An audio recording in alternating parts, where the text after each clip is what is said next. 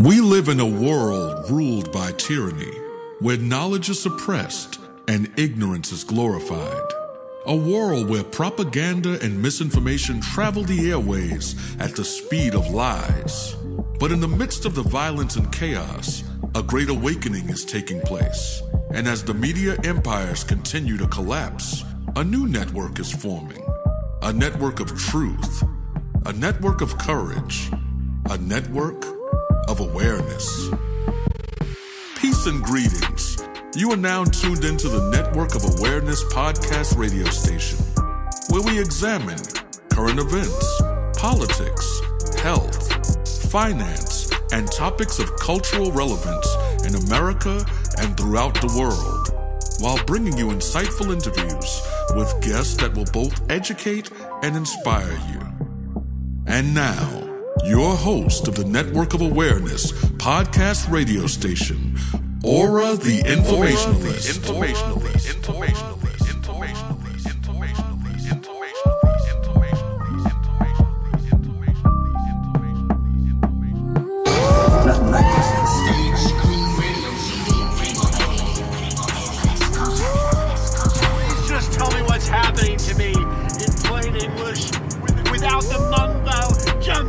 My aura is a network full of awareness and gifts like aura, the informationalist.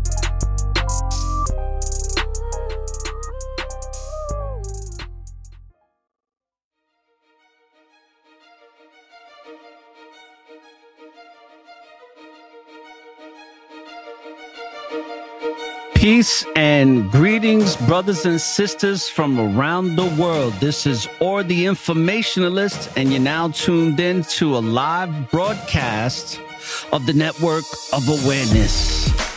And I got a great show for you today on this Righteous Tightrope Tuesday. And we got a righteous brother, a man of the Most High, a man who is very well versed and has a ton of experience in marketing. And we're going to discuss finances today, as well as the title of the episode that he chose, which is The World Economic Systems Are Rooted in Wickedness.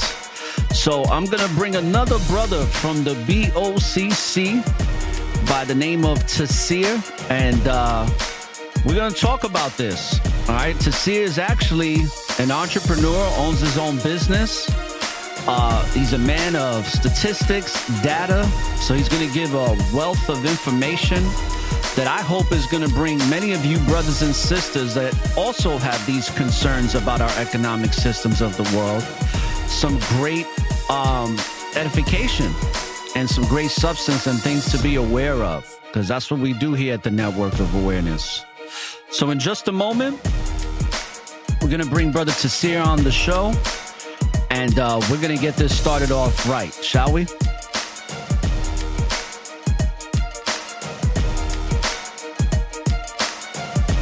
My aura is a network full of awareness and gifts like aura, the informationalist. You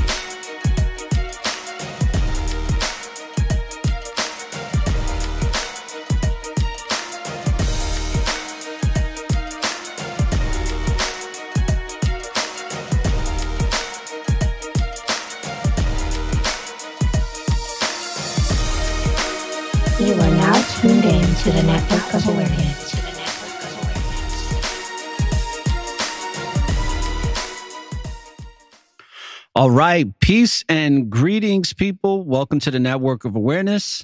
I'm ORRA the Informationalist. And uh, today's episode, the world economic systems are rooted in uh, wickedness. So I'd like to welcome to the show Brother Tasir. Welcome. Shalom, brother. Peace and blessings to you. Brother, thank you. Thank you for the fine, fine uh, intro. Greatly appreciated. Most High in Christ bless you.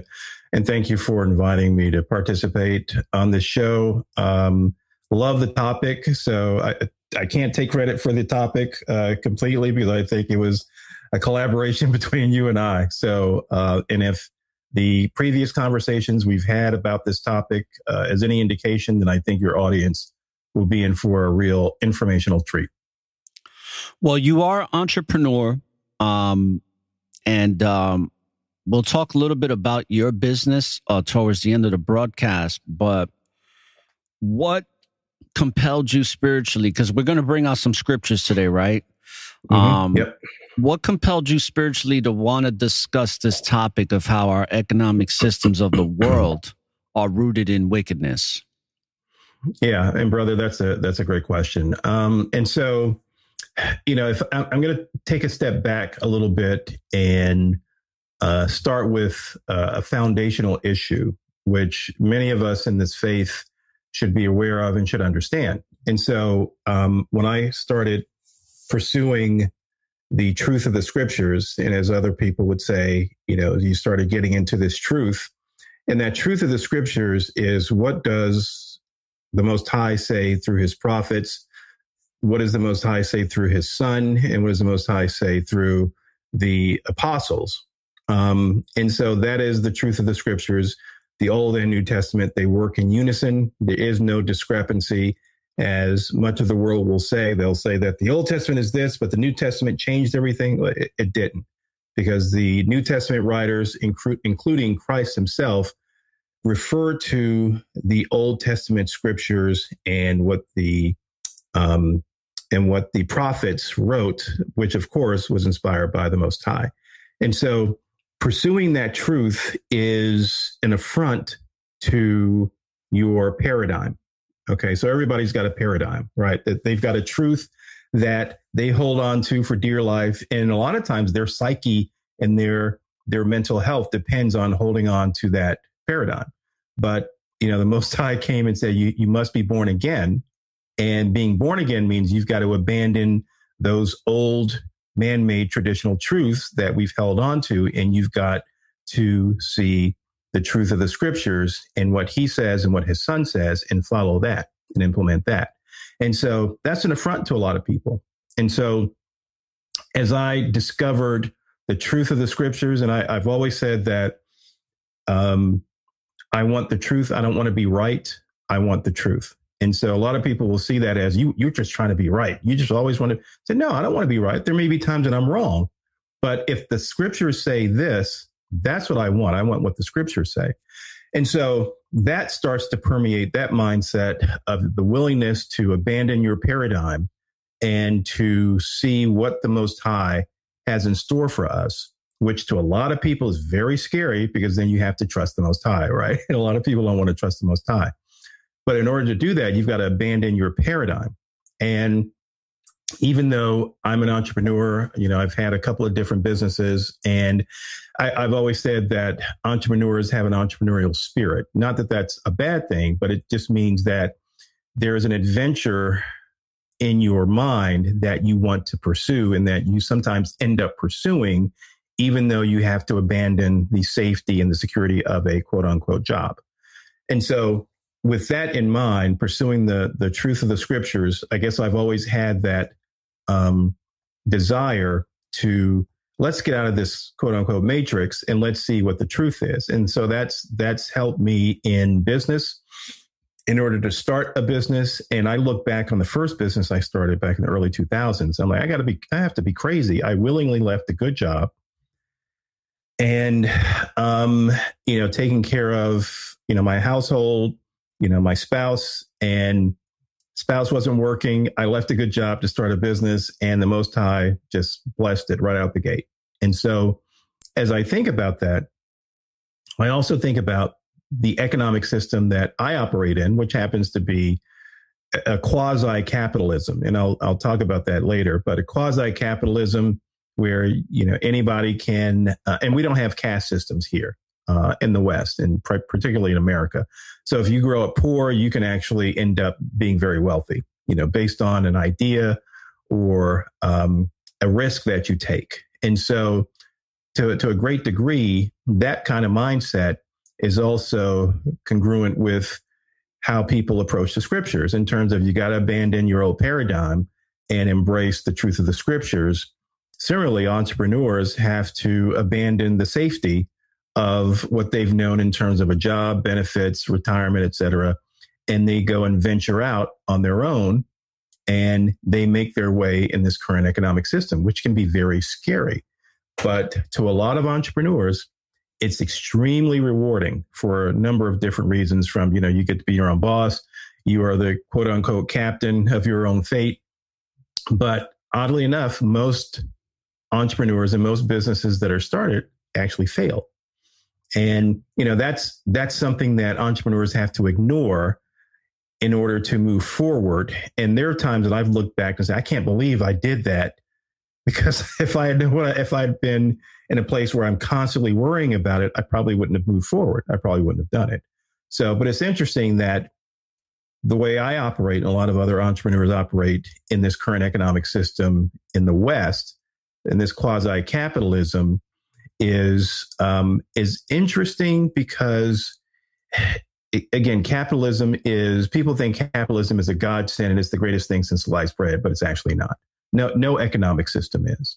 But because I'm in this economic system, and if I had to choose, I'd probably choose this one over communism uh, because of that entrepreneurial spirit.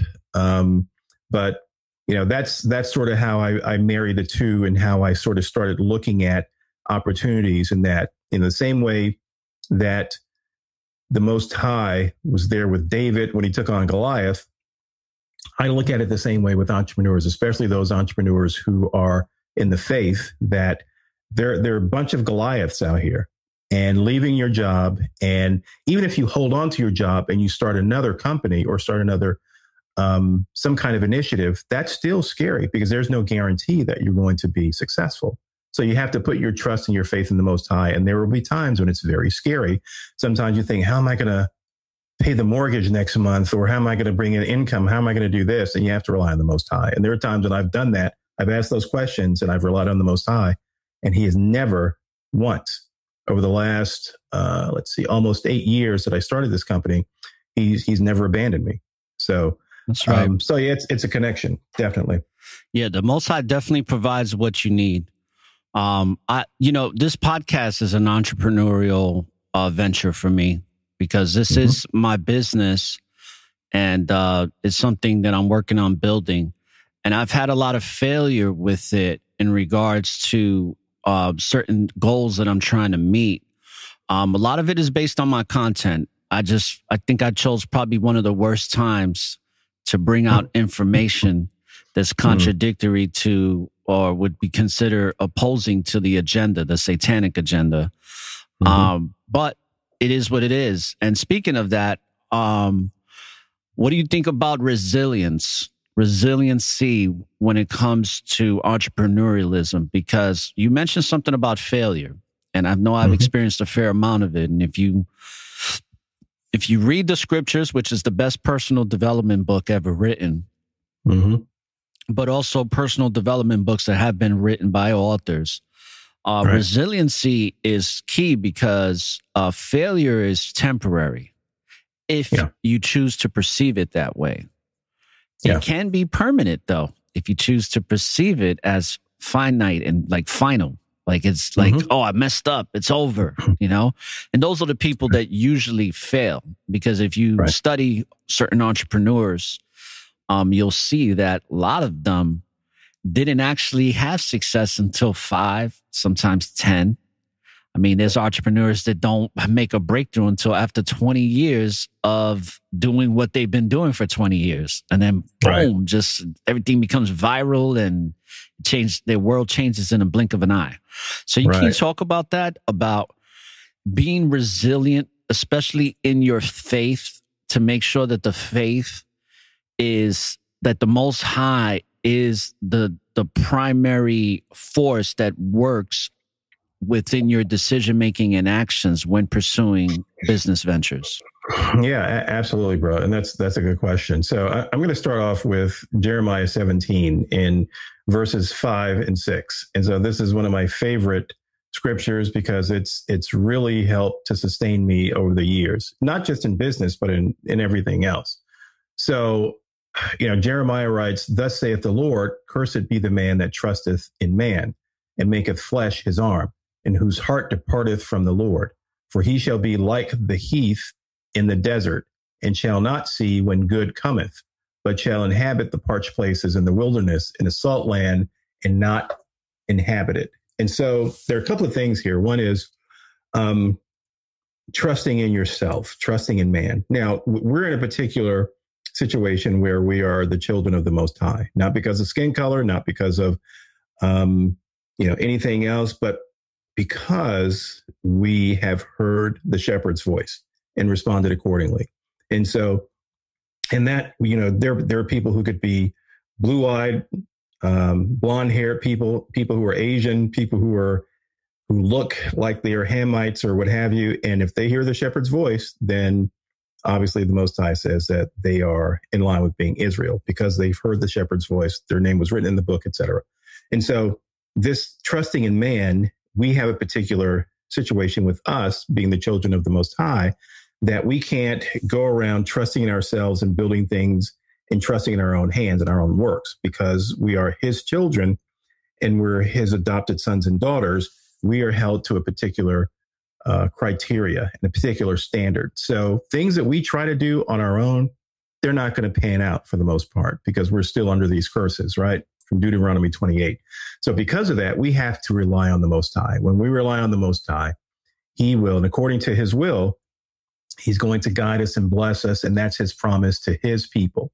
And so we can't depart, and our hearts can't depart from the Lord because if they do, then we are not going to be successful. We may look successful, but we're going to have stuff frustrate us. We're going to run into brick walls. We're going to have failures, et cetera. And we're going to look at the heathen and say, well, why, why can't we be like them? Which, you know, again, the children of Israel did coming out of Egypt. They did that all day long. Why can't we be like the heathen or the rest of the world? So, but that's that, that second verse shall not see good when, shall not see when good cometh implies that good is going to come. But if we're not connected to the Most High, we're not going to see it. You know, and that tells me and that suggests to me that there are oftentimes opportunities that roll around and that come our way. But if we're not in our right mind, if we're not serving the Most High, we're going to be blind to it. We're not going to see it. So we may, in retrospect, look and say, we, ha- we don't have, we never got a chance. We never got a break we don't have any opportunities and it's their fault, you know, but we've abandoned the most high or we're serving the most high the way we want to.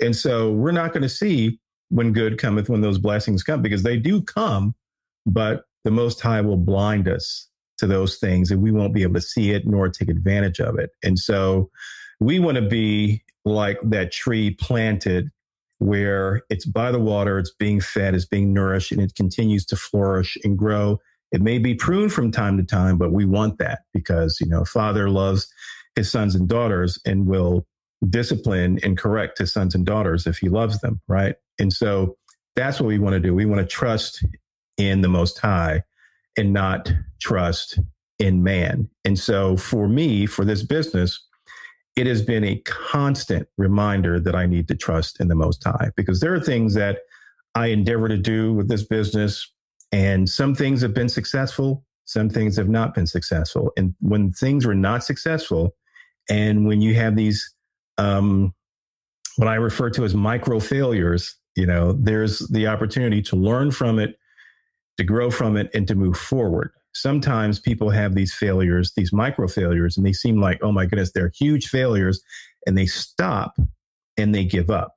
Okay. So to your point, there are a lot of entrepreneurs that we know of who, uh, whether they are in the faith or not, most of them are not in the faith because if they're not in the faith, we hear about it through magazines and uh, the media, et cetera. You know, we can come up with a number of them, you know, who lead Facebook, Twitter, um, other businesses like, you know, the, the founders of Home Depot from Atlanta. Um, you know, one of them now owns the Falcons and that's that sort of thing. So all these entrepreneurs from Silicon Valley uh, HP and all these other, you know, Apple, um, Steve Jobs, and all these other entrepreneurs, they've faced a number of failures before they reach success. And, you know, you'd hate to be the person who is given 15 opportunities, but you quit at the 14th one. And the 15th one is going to be the breakthrough. Okay. And so, and hopefully I'm not sounding like, you know, a, a a uh, prosperity gospel preacher, but you know, no, there's a lot of truth. There's a lot of truth to that. That you know, the, the, the, the enemy will put so many obstacles in your way just to discourage you. And the most high is like, just trust me, trust me. If this is my will and you've given yourself over to me and you're obeying me, then trust me. And it may be that 15th opportunity or 15th attempt that is the breakthrough, or it may be something completely different that you didn't even think of. And so the same thing with, you know, our, our normal walk in this everyday life on this earth, we run into failure, disappointment all the time. And so we can either um, get upset, we can curse the Most High, we can say, you know, forget this, I'm doing my own thing my way. The Most High is not helping me. Or we can be like Paul. And so Paul said in, um, let me get that scripture. So in Philippians 4, and so starting in verse 11, he says that not that I speak in respect of want, for I have learned in whatsoever state I am therewith to be content. And so he's, he knows how to be both abased and how to abound.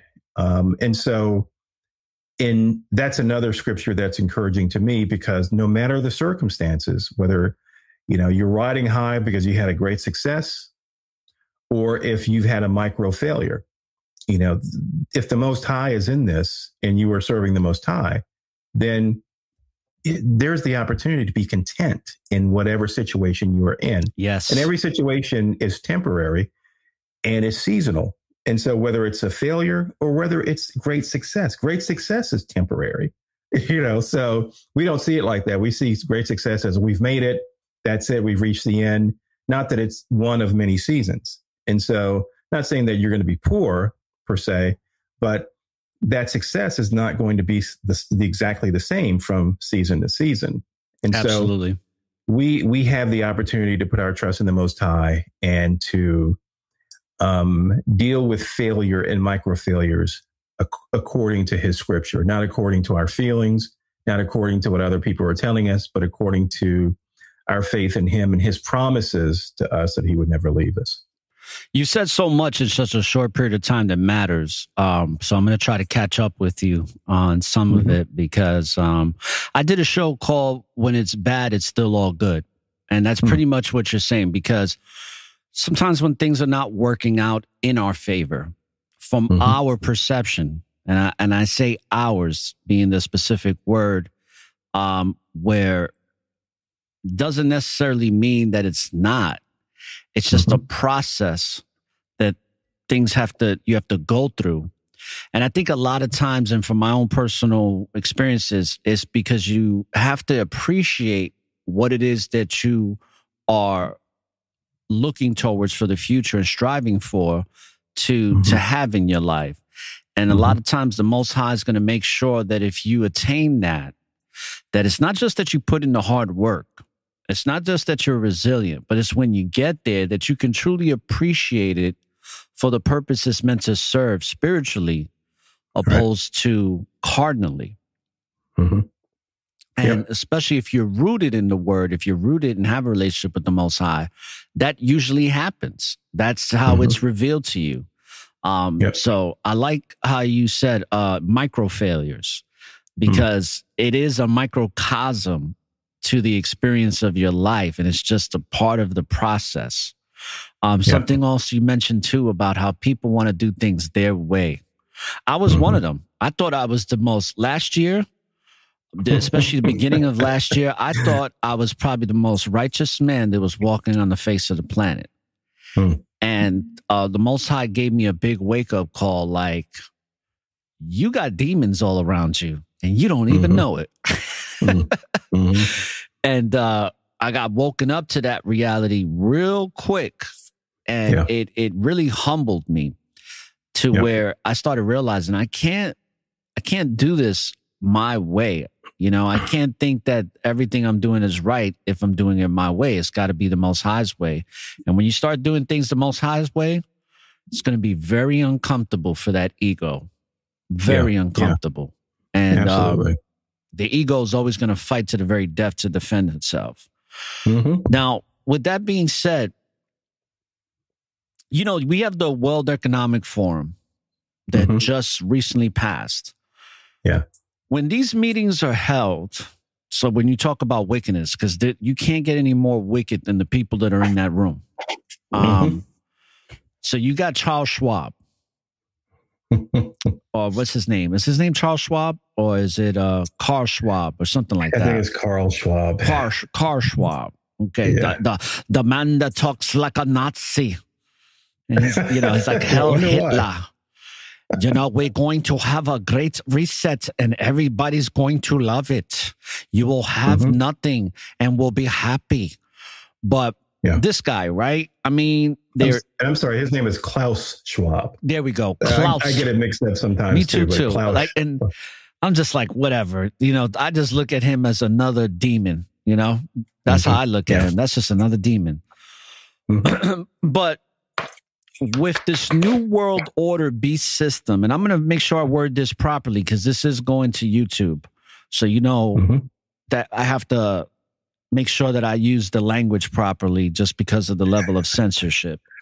But when it comes Right. to this one world order system and people like Klaus Schwab, where now they're they're putting these systems in place to Mhm. create a digital currency system, which Mhm. as the scriptures talks about that beast system, that mark, a lot of it has to do with the currency. Yeah. Because in order to buy or sell things in the this one world order beast system, you're gonna Yeah. have to submit yourself to Satan in order to operate in this manner. So I wanted to get um some of your thoughts on how the world is now transitioning to this. Now we've been in a digital currency, to so to speak, even though we're dealing with cash, fiat money, and all that stuff. Mhm. Everything is pretty much digital. I mean, you have debit cards, uh, credit cards, and uh, that's pretty much the way people exchange currency. You still got your Chinese restaurants and your local stores that won't accept cards for a number of reasons. right. Because right. I go to this Cuban spot, the lady doesn't do credit cards or debit to this day. Okay. So if you Yeah. want to buy anything from her, it's got to be cash. Yeah, And, and, that, uh, you know, ta- taking credit cards and debit cards. I mean, that can be expensive for businesses because there are fees associated with that. Yeah. Also, so but I- a lot of times it's because they got bad credit or they did something, uh, yeah, you know, shady. Yeah. But, um, well, I want to get your thoughts on this crypto digital Bitcoin currency that they're now trying to transition because that's ultimately what this supposed alleged great se- reset's going to be, where they're going to wipe out all the economies. We're already Mhm. seeing it with Bank of America. Have you saw that Mhm. video uh, that's viral on um, social media where people were going to take out money out of their bank accounts and their their their bank accounts are all dried up, zero? Uh, and- no, and I Bank ha- America? yeah. No, I haven't. I may have seen something like that, uh, and I come across a lot of stuff. So I think I may have seen that in a couple of instances with uh, at a couple of branches. I'm not exactly sure what cities that occurred, but you know, you you bring up something very interesting because if people have been paying attention, you you we've we saw that already happen in Europe, and I'll give you an example. So Greece has been, you know, a few years ago they've had all these loans from the European Union that they had to pay back, and then they had to implement these austerity programs, which part of that said that well, the banks get to take some of your money in order to pay these these loans that Greece has agreed to take from the European Union. And so basically that's like if if we were here in this country and they were doing that, they'd say, Hey, if you've got a thousand dollars in the bank, we're gonna take a hundred dollars of that. Well, why? Well, we had we're in so much debt that we have to pay the debt off, so we're just gonna take it. All right. So that's been happening for the last few years. Now it hasn't really happened here like that. But when it starts happening other places, you can't think that it won't happen here. Because again, these people that are um, currently in places of power within this country, and we know that, you know, it could be Congress, it could be um, executives at, you know, corporations. It could be board members of corporations. It, it could be anyone, people who are in power.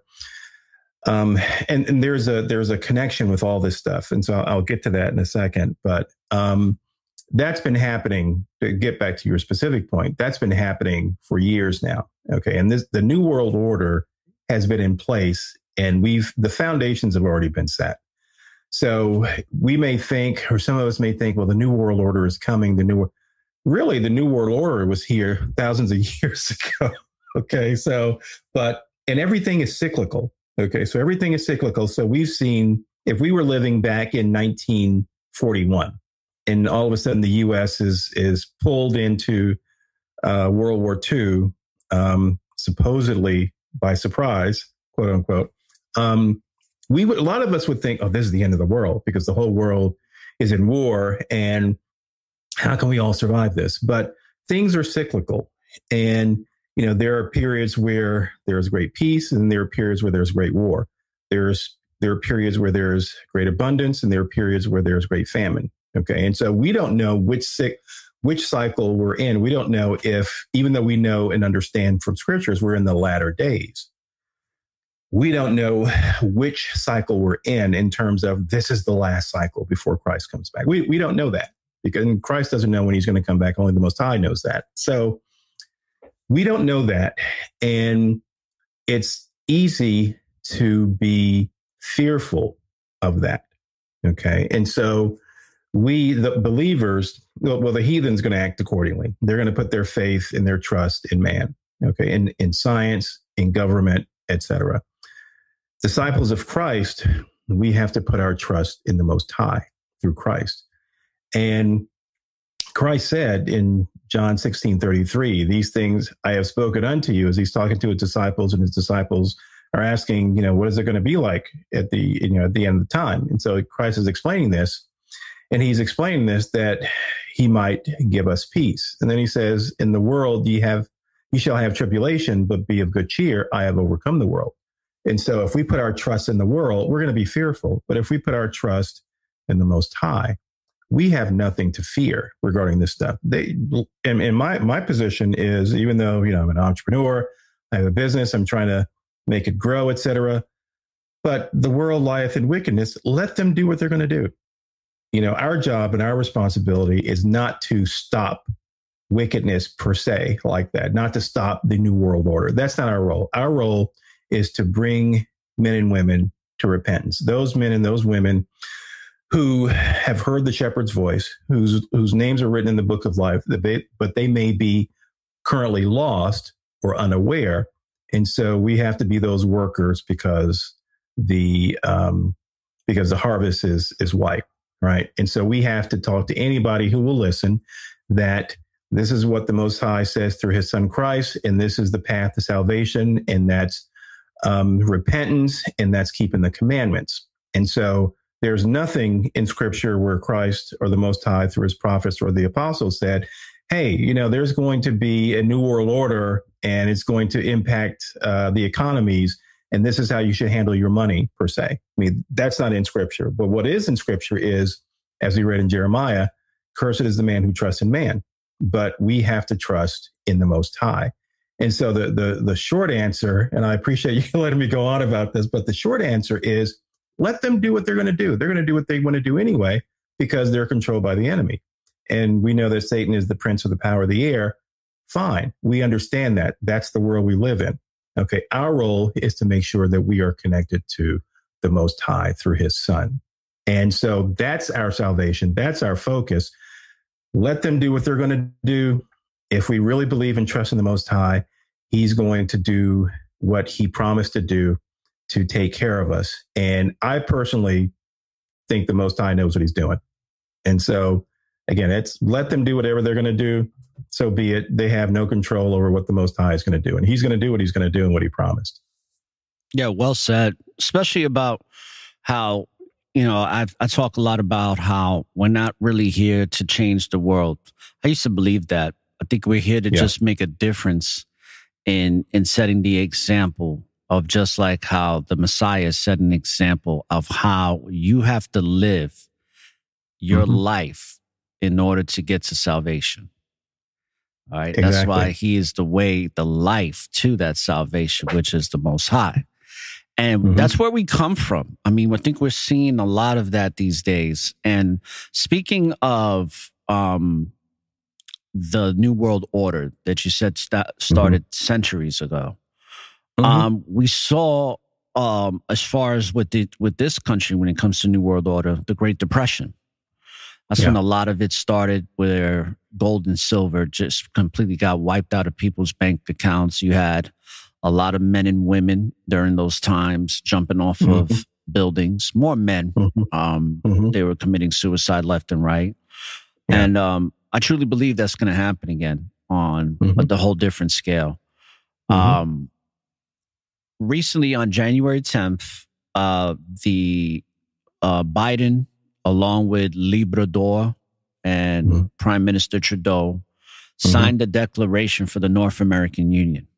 Mm-hmm. Now, this is a big step because uh, mm-hmm. this is something that's been in the works for a long time, long time. Mm-hmm. Yeah. And now it's finally here. So, what they're looking to do is create now the North American Union. Mm-hmm. And uh, what originally, when I talked about this back in 2006 and 7, they talked about the Amero being the new mm. form of currency for the North for North America. Yeah. So what do you think will happen if they're able to execute that, which it looks like that might happen very soon? Because the yeah. purposes of bringing about the North American Union is not just to join Mexico, Canada, and United States as one union. It mm-hmm. also does away with the Constitution. Constitution mm-hmm. means nothing. I don't think the Constitution really meant anything anyway for our people. But um, it it does away with that. But what it yeah. also does is that it brings the initiative to to mandate the science appliance, aka mm-hmm. the satanic serum, mm-hmm. to to be mandated for everybody as a yeah. global mandate mm-hmm. that everybody has to supposedly abide by.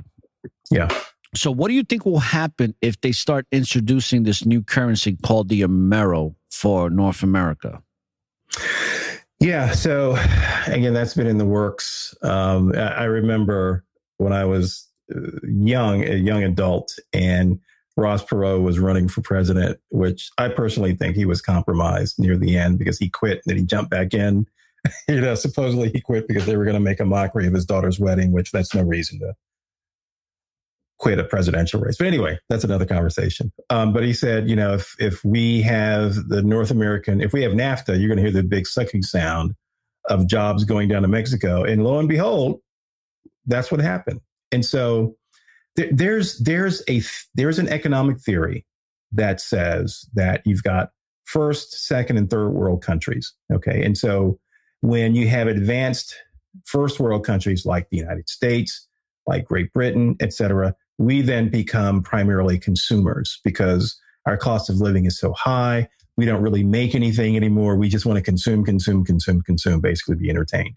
And so then you transition manufacturing jobs, as an example, to third world countries like Mexico, like um, China, et cetera. And so there's a, there's this theory that suggests that by the time you become a first world country, it's too late. You can't manufacture anything. Well, that's that's a lie from the pit of hell. Um, that's an economic system that is perpetuated to make sure that countries like the United States, um, whether it's sending jobs to Mexico or to China, that you can't make anything anymore because the cost of living is too high. And we saw in the previous administration, well, you can still make things here, you know, which is one of the reasons why he was, you know, so demonized is that he's trying to bring, and I'm not saying that everybody should be a, a Trump fan or anything remotely close to that, because it's all wicked. Okay. But proving that that economic system where first, second, and third world countries, it rotates in terms of production always to the lowest common denominator of the third world country. That's that's manufactured too, for you know, pun intended, um, because inflation and purely inflation, which is uh, which is a man-made construct, inflates um, costs here in a first world country. Okay. And we've seen that in the last couple of years that things have jumped in price by anywhere from 30% to 200, 300%. Okay. And so that's partially because of the banking system that we have here too. I'm not going to get completely into that, but you know, most countries have a particular kind of banking system where things are quote unquote centralized, if you know what I mean. And so all of that stuff is has been created to suggest that hey, we can control the economy, we can avoid recessions and depressions. Okay, but most um, depressions and recessions are manufactured and created. Great Depression, for example. You had a um, Republican in the White House at the start of the Great Depression, and his position was let this take care of itself, and it will take care of itself. Okay. But the reason why there was a Great Depression is obviously we had, you know, the centralized banking system, which, you know, they manufacture and manipulate interest rates. And so you can make loans and money available to everyone fairly liberally, or you can constrict it. And when you start restricting it severely, then you retard and halt economic development. Okay. And so that's all manufactured, that's all man made.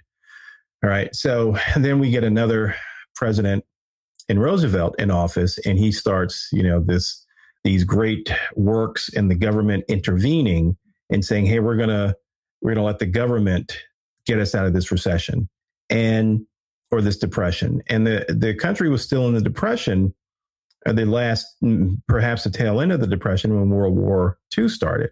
But oddly enough, a country like the UK, they came out of the out of the depression fairly quickly because they let the economy work itself out, which it did. So they didn't have the same depression impact or the impact of the depression like we did here because we let government go in and try to fix it, which that's never a good idea. Okay. So fast forward to 2007, 2008 with the Great Recession. Again, it's, it's another issue of you have banks that are packaging these um, mortgage loans into derivatives, and then you have them making derivatives of derivatives. Okay. Which supposedly was illegal, but nobody went to jail. Um, and so when those things started to fail, then you had the banks restricting lending. Okay, so putting a restraint on the money supply, and so that just was a um, that was a ripple effect that went through the entire economy around the entire world, and it wasn't just the U.S., but you know a lot of stuff happened here that really impacted a lot of citizens in the United States. So you have these banking systems that are manipulating the economies and restricting and loosening cash flow, basically. And when that happens, that's going to have a direct impact on the economy. And supposedly, these central banking systems were put in place so that we wouldn't have recessions and depressions. Well, how many recessions and depressions have we had? We've had quite a few of them since the central the central banking system was put into place. And so that's untrue that they're in place for our protection, et cetera. But anyway, again, this world is what it is. And you know, to your point, or to your your comment about the depression and people jumping out of windows, you're likely going to see that again, especially if the recession is worse than the one in 2008. Okay, so it's so critically important for us to be plugged into the Most High. The Most High is our resource and our strong tower. Man, banking systems, money, that's not it. So the Most High will protect his people, those people that are called by his names, those of us who are being obedient, keeping the commandments, examining ourselves to remove the leaven from our lives, from our minds. The Most High is going to protect us. And so I, I think about the, I think about Israel and Egypt, right? When all the plagues are coming on Egypt and Israel is just watching, you know, it's like, it's almost like they're in the stands eating their popcorn, watching this happen to, to Egypt. Brother, didn't so, that kind of recently just happen with the science appliance? The science appliance. It, explain that to me a little bit because you probably you may know more about that than I do. No, I just mean the didn't that just recently just happen when people decided to take that satanic serum? And oh, Israel oh, was just oh, yeah. That's the science appliance. I know you don't know what that means, but that the science I, I appliance. That term, so. Yeah, mm-hmm. that's the science appliance. We don't say the V word here, but um, gotcha. Gotcha. That's that's blasphemous to say that word here. Um, barely, right? but uh, that kind of happened with that.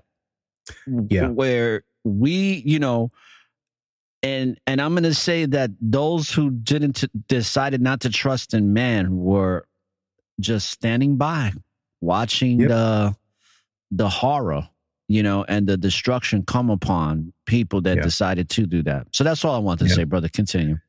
No, no, you're right, and thank you for for prompting me uh, because um, now that I know what you're talking about, because I haven't used that term myself, but I understand the restrictions. Okay, so that thing that you're referring to, um, there are a couple of interesting things that have come about because of that, and so you're right. That's that's a good example of this world system saying, "Hey, we want you to do this and this and this," and some people saying, "Oh, okay," willingly, and other people saying, "You got to be kidding me."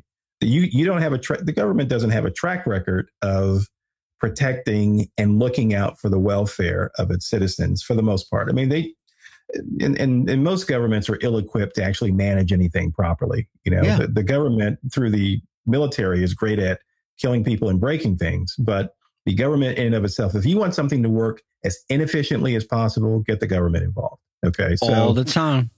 all the time. And so this thing that you were referring to, there's some interesting components to it. One is um, now we're seeing some of the repercussions of it now with people just falling out.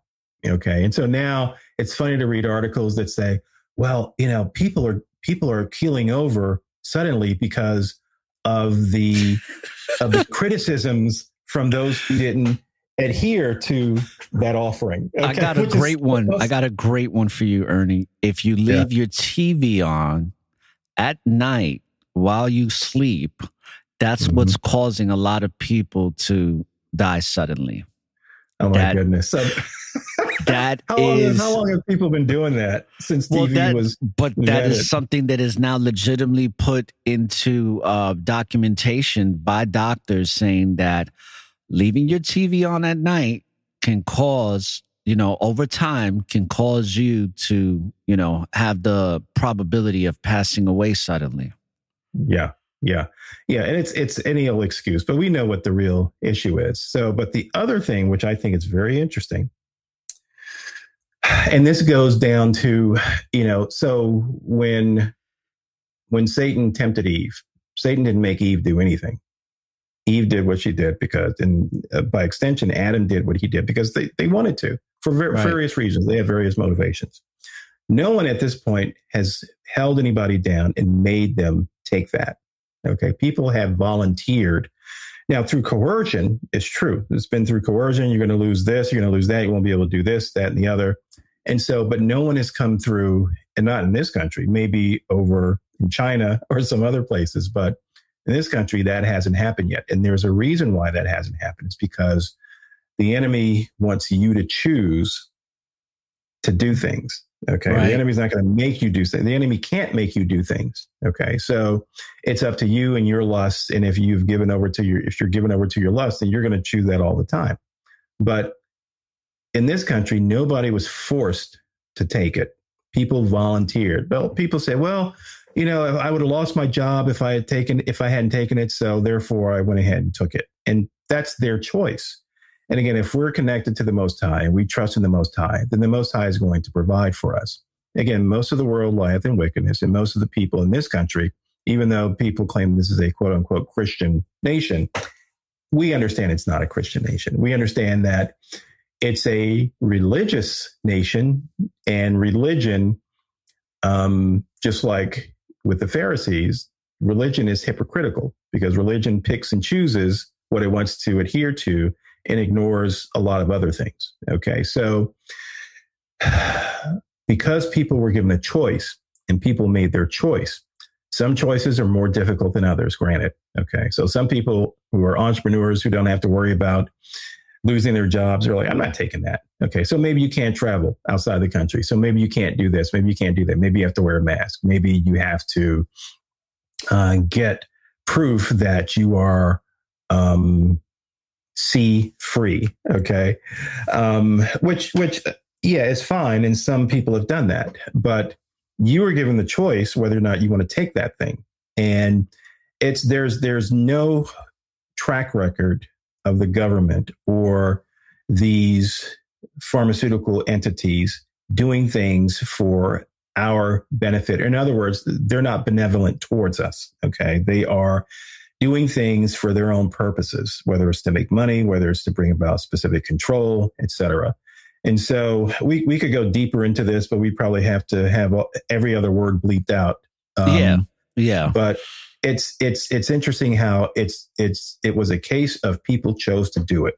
Okay. And again, everybody's circumstance is different. The people who chose to do it chose to trust in man and were threatened and felt like they had no choice, as opposed to, I'm going to rely on the Most High. I'm going to fast and pray, and I'm going to trust whatever He does. He knows what He's doing, and the Most High does know what He's doing. I mean, who's who's going to counsel the Most High, right? He knows exactly what He's doing, and so if we choose to trust Him and not trust in man, then He will take care of us as He promised He would. So, yeah, it's interesting that you know, to your point, you know, that's already started with this thing that people want people to take. And there will be other things too. And so Christ says, just hold out to the end, you know, and you'll be saved. So, you know, it's, it's, it's going to be ongoing. And this is only the first salvo, I think, um, that we've seen. Uh, you know, I'm really enjoying this uh, broadcast because you're bringing a lot of things to light. You're bringing like three episodes that I've done for this season this season is called Great Understandings, and uh, I did mm-hmm. a show called The Lust for Consumption. Mm-hmm. Um, I did one called Erroneous Economics. Mm-hmm. Um, I've done so many on the narcissism series. Yeah. And you're bringing a lot of those episodes, the content that I presented, all together yeah. in a mm-hmm. in a very you know concise summary within this uh, broadcast. So, mm. and the reason I brought up the the whole science appliance because we don't need to, you know, this is going to YouTube, so we don't need we yeah. don't need no problems. Yeah. right, right, right. Uh, but uh, the reason I brought it up is because there's nothing new under the sun, and I think mm-hmm. that's one thing the scriptures always um, sheds light on is that everything yeah. that we think we're experiencing, like we're the first to do this, it's like no, right. It's right. been going on for thousands of years. So yep. all these plagues that are now happening, they happened 1000s mm-hmm. of years ago.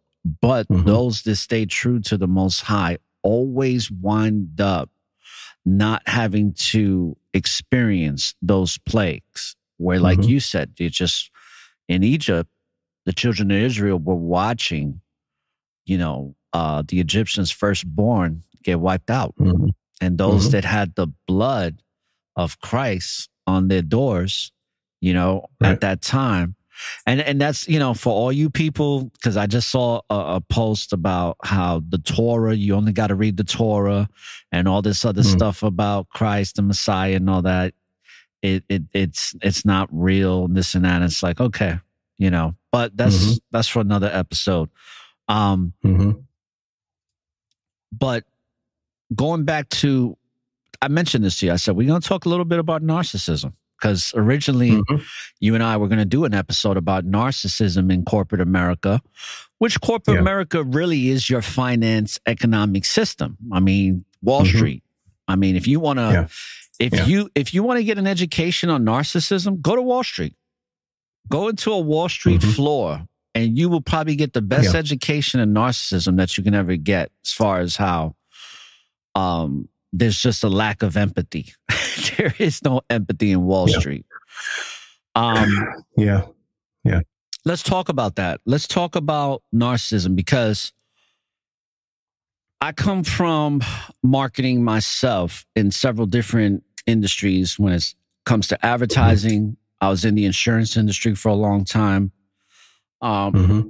And I did well when I wanted to. I'm not going to say that yeah. I was a super huge success because if I was, I'd probably still be in it. But I did yeah. have, and I could have been that guy, but I had too much mm-hmm. empathy. I had too much of a yeah. conscience where it's like, yeah. ethically, there was only but so far I would go to be unethical. There was a lot mm-hmm. of things that I just would never do. And right. that sometimes did not make my pockets become fat. And mm-hmm. statistically, and this is based on psychologists' vast amount of statistics and data and, and study based on research, is mm-hmm. that a narcissistic person in America is always going to make more money than the person that's not Sure. because they lack empathy. And when you lack Yeah. empathy, Mhm. your drive that that you know they people say that drive to where they they want to be successful, they Mhm. will step on their mother's back to get to where they need to be. Yeah. So in your experiences, especially in the topic of discussion about how our economic systems are rooted in wickedness, that Mhm. wickedness now has a name. It's called Yeah. narcissism. Narcissism is just another name for the evil of how principalities work through us. And that's what people seem to forget is that everything is spiritual. That's why I call the show Network of Awareness because when you are aware, you start realizing, wait a second, I was created in the image of the Most High. So what does that mean? Mhm. The Yeah. Most High is not a physical being. The Most Mhm. High is that which is and always will be. That's energy. That's spirit. Mhm. So that spirit comes in the form of a light, Mhm. an everlasting light. Yeah. Now, with that light, you realize that everything is spiritual. So these principalities that work through narcissists, and you hear so many stories. I, I saw it within the woman that I was in a relationship with. Um, Mhm. Their eyes black out. I mean, they all they, they start speaking in different types of tongues and Hmm. making different snarly noises. I mean, it's it's just the list goes on and on. But when Yeah. it comes to narcissism and economics, um, and how these principalities work through people, Mhm. um, I want to get your perspective and some of your, you know, you don't have to go in detail about personal experiences or anything, but just give Mhm. like an overall review on your experience um, in marketing in corporate America when it comes to this thing called narcissism, this wickedness, evil behavior that people have been probably doing for for thousands of years. Yeah, yeah, and that's that is that is a completely. you could probably do fifty shows about you know the details of that. Um, and so it's it's an interesting thing. And i'm going to try to dissect it a little bit. So you've got corporate America, which is basically another word for capitalism. Um, and and I will say this first, and then I'll go into answering your question. You know, so the the three pri- and there are multiple economic systems around the world, but the three that people seem to understand or recognize is communism, socialism, and capitalism. Okay, they're all rooted in wickedness. Um, and so communism says, for example, there is no God, and all property collectively belongs to everybody, which you still need somebody to administer that. So that's a misnomer that it belongs to everybody because really it's in the still in the control of a few.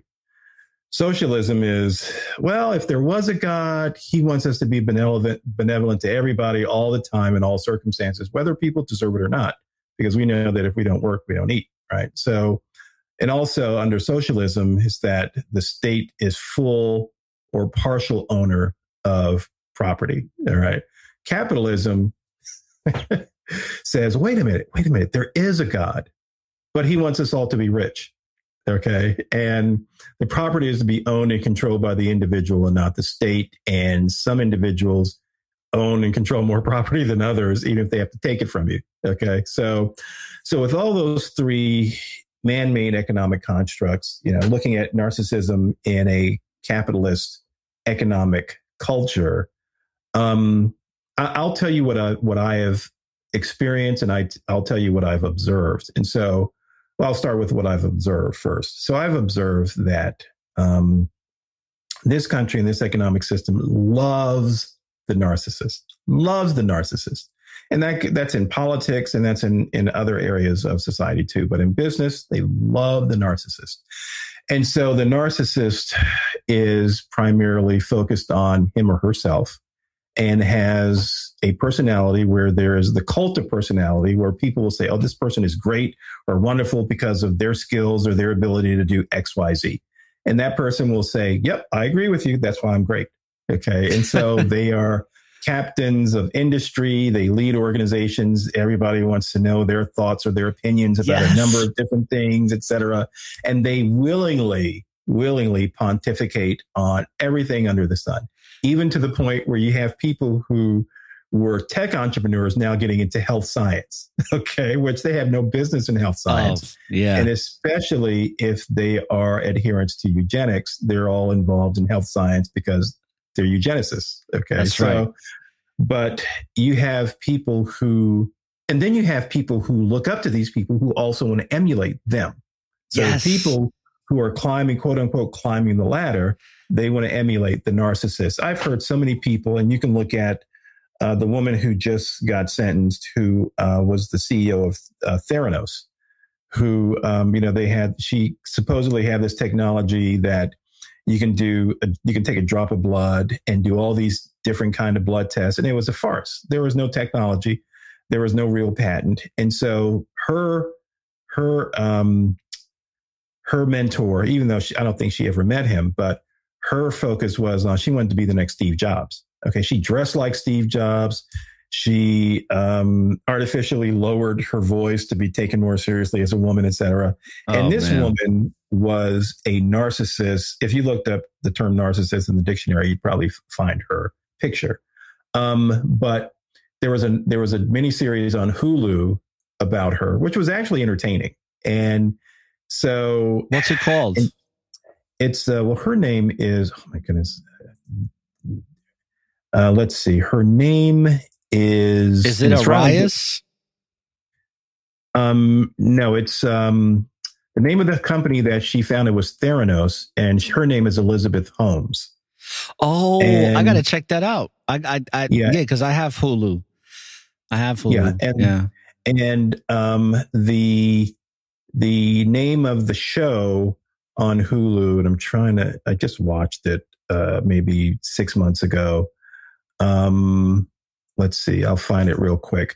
But I'll, but as I find it, I'll I'll tell you again. I'll continue the the the observation. So people like her and others. Um, they are narcissists, um, and it's about them and it's about their prowess. Now, granted, there are some people in the world who are what I would refer to as savants. Okay. They are, for whatever reason, the Most High has given them brilliance and talent, whether they are serving Him or not. And you could look at a number of different music artists who are uber talented, and a lot of them have sold their soul.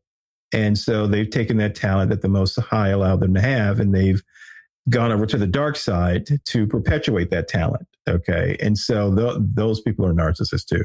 Um, but um, Yeah. Uh, I.E. Ye, now called Ye West.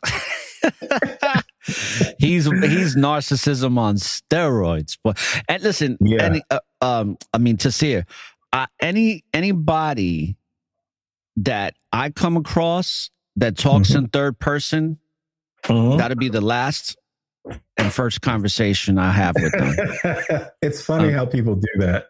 Yeah, I have like- I have no patience for that. If I hear you talking in third person, I'm like, oh, we're done. Like I'm gonna do it respectfully, but I'm not gonna have a second conversation with you.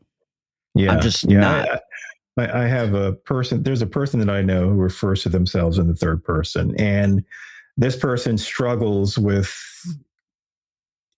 always having the focus on themselves, even when it comes to the Most High. And this person struggles with abandoning their position in terms of having a preference for the Most High, whatever the Most High's will is for that person is they try to oftentimes manipulate what they want and say, well, the most high really wants this for me because I want it, you know? And so they, they struggle. It's almost to the point where it's like cognitive dissonance to say, it's not about you. It's about you and us serving the most high. And it's, it's hard for people to take themselves out of the equation and not focus on themselves. Uh, and, and that show on Hulu is called The Dropout. So it's, it's really, it's a, like a mini series and it's really very fascinating. Um, so, but going back to narcissists in corporate America, so you have all these people who not only are narcissists and it's all about me, you have people that aspire to be like them. And I've met very few people who are in leadership positions. I can probably count them on three fingers who are not narcissists, who are open, who are benevolent, who are charitable, who are good people. You want to sit around and talk to them because they're just basically good people. They're not the definition of a pure narcissist. Um, and so I've met a couple of people and worked for a couple of different CEOs who were not narcissists. And they're a pleasure to be around. They may not be serving the most high, but they're certainly, they don't appear to be wicked as all hell. And you know, it's all about them and their ego and their success, et cetera. But most people, as a matter of fact, I had there I worked for a company where this CEO came in after I had started. Great guy, got along well with him. We talked about everything from music to um, sports to a few other things. And he was a down to earth person, very, very good at his job, very good at being the CEO. Got along great. And so there was a transition, a new CEO came in, complete narcissist, often talked about his greatness. and there was something spiritual about there was something spiritual between us. Not that we were close or we spent a lot of time together but there's some, sometimes i can pick up when people don't like me and oftentimes it's a spiritual issue. And i'm not doing anything wrong. I'm doing i'm going about my business doing my job but the way people are constituted spiritually, sometimes it doesn't jive with my spirit. And oftentimes, and I'll story of my way, life, brother. Story of my life. And that happens. I, I notice it happens a lot with women who like other women with me. So if I come across a woman who loves other women, there seems to be a spiritual d- divide and some gap where they have they for whatever reason don't like me and I think it's maybe the spirit on me and the spirit on them. And, and they the don't want you taking happened. their women either. Because I've had situations like that where the, where the, uh, I don't even know if I say the word, but where that masculine female, um, yeah. is, is like, you know, sizing me up. Mm-hmm. Like, like yeah. I will wreck you if you come near my mine, near mine. Well, yeah, and there's a lot of you know there's a lot of backstabbing and um, there's a lot of chaos that goes on in corporate America. Oftentimes with people who are narcissists who have the spirit on them, and narcissists don't have to be CEOs or executives. They're right. sometimes your everyday coworker. And I've had people purposely try to trip me up and trap me in things where they are trying to get to me. They're trying to do things to me. And it's not at, at every turn. It's just there are times when I notice it happening. And given all praises to the Most High, He's given me the ability to be able to see oftentimes what's going on because sometimes the enemy shows his hand. And when that happens, you're like, oh, okay, that's what's going on. All right.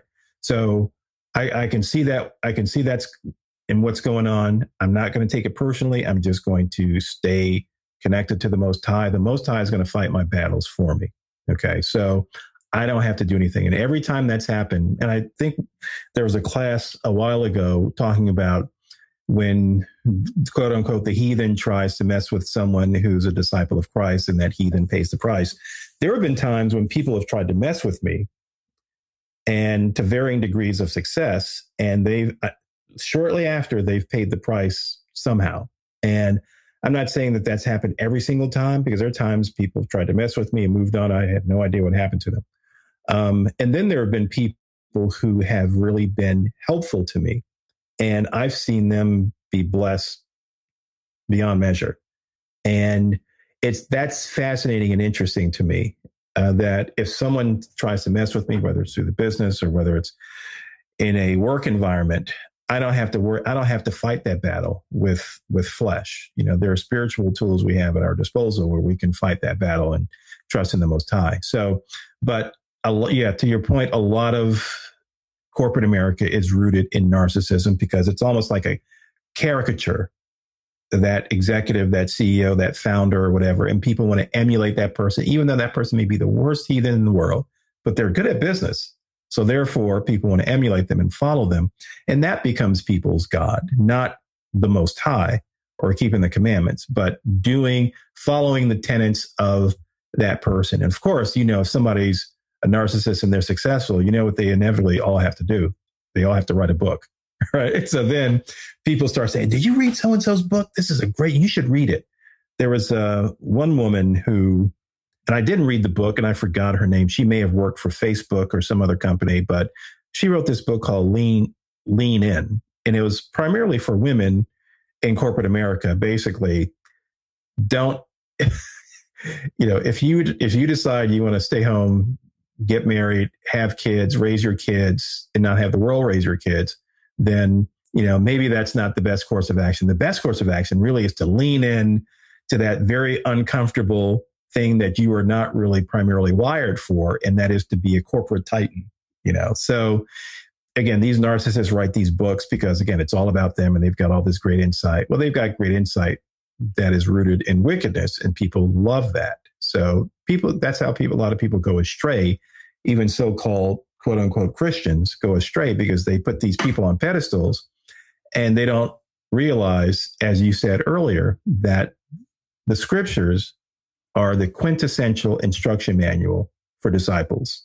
Okay. Everything we need to know about living our lives, whether it's work, whether it's elsewhere, whether it's at home, is in the scriptures. And people simply have to look at Daniel and Joseph, Daniel in Babylon and Joseph in Egypt. Egypt.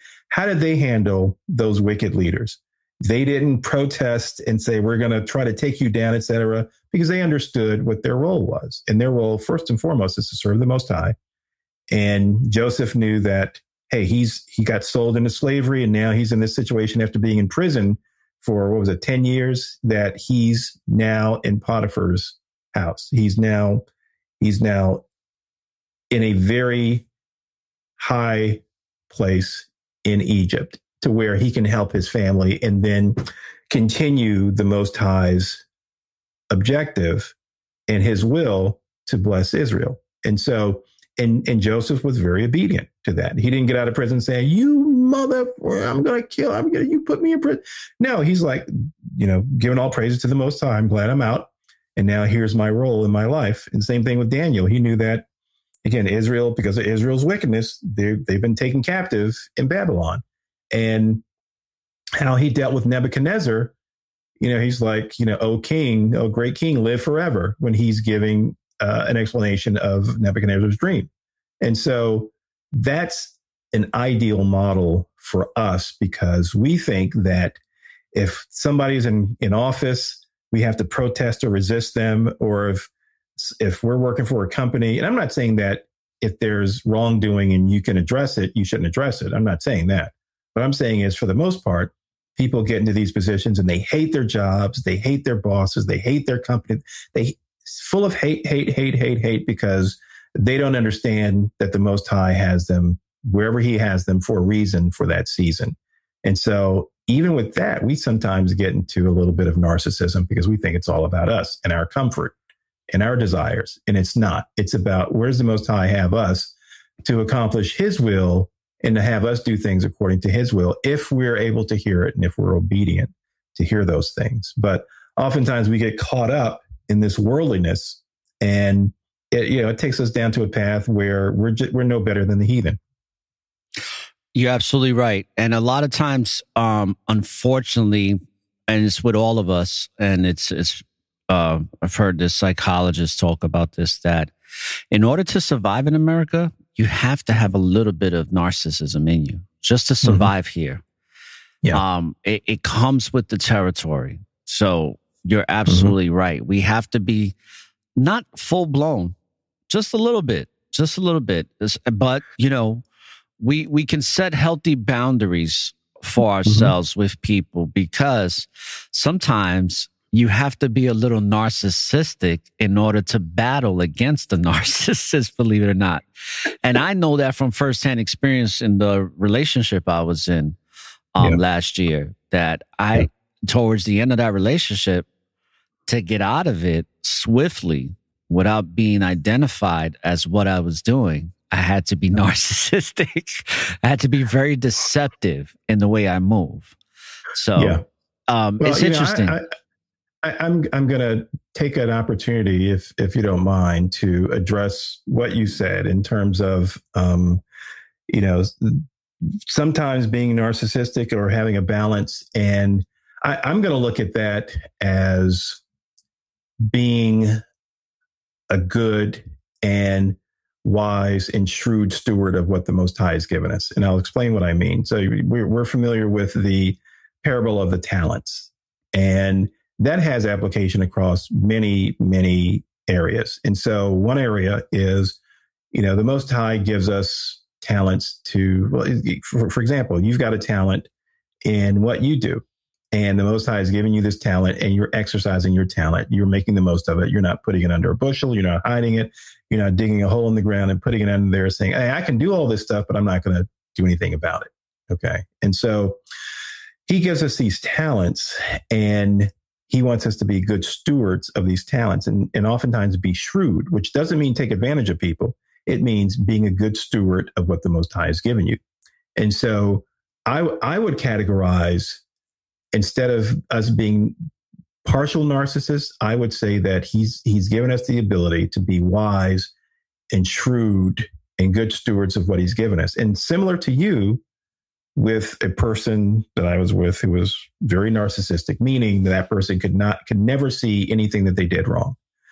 And they were always the victim and it was always about them, them, them, them, them. And so what I had to do, similar to you, is I had to create a construct to protect myself in order that I could do X, Y, Z and, you know, move out and then create a structure where I protected myself because this person wanted, all, you know, half my income uh, unwarranted and uh, a lot of my possessions, et cetera. And so th- I'm not going to get into the details as to why um, that shouldn't have been the case and why that was wrong for that person to want those things. It was completely wrong, but I'm not going to get into the details of that. But the point being that I had to be somewhat coy in what I was, the moves I was making in order to protect myself. Right. And so I would categorize that as being uh, shrewd and being a good steward and being wise.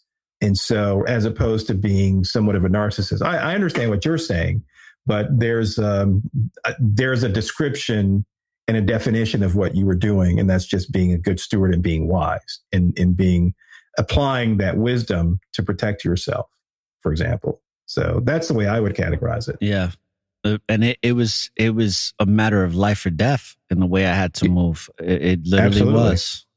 Absolutely. Um, and uh, so, brother Tasir, um, you know, uh, I, I, think about all those board meetings and um, just overall marketing meetings that I went to, where when you were talking about earlier about how the narcissism, everybody's like, every all the higher ups is like, look at so and so, look at what they're doing. Hey, so and so, what are you doing to make your sales? What are you doing? Well, I'm doing this and I'm doing that, and you know, yeah. people, uh, you just really gotta, you gotta really just work hard, and you gotta be obsessed, and all this other. Mm-hmm. Mumbo jumbo yeah. that I used to hear. Now, I didn't know what narcissism was at that time. I didn't know mm-hmm. that there was a word for it or anything, but boy, mm.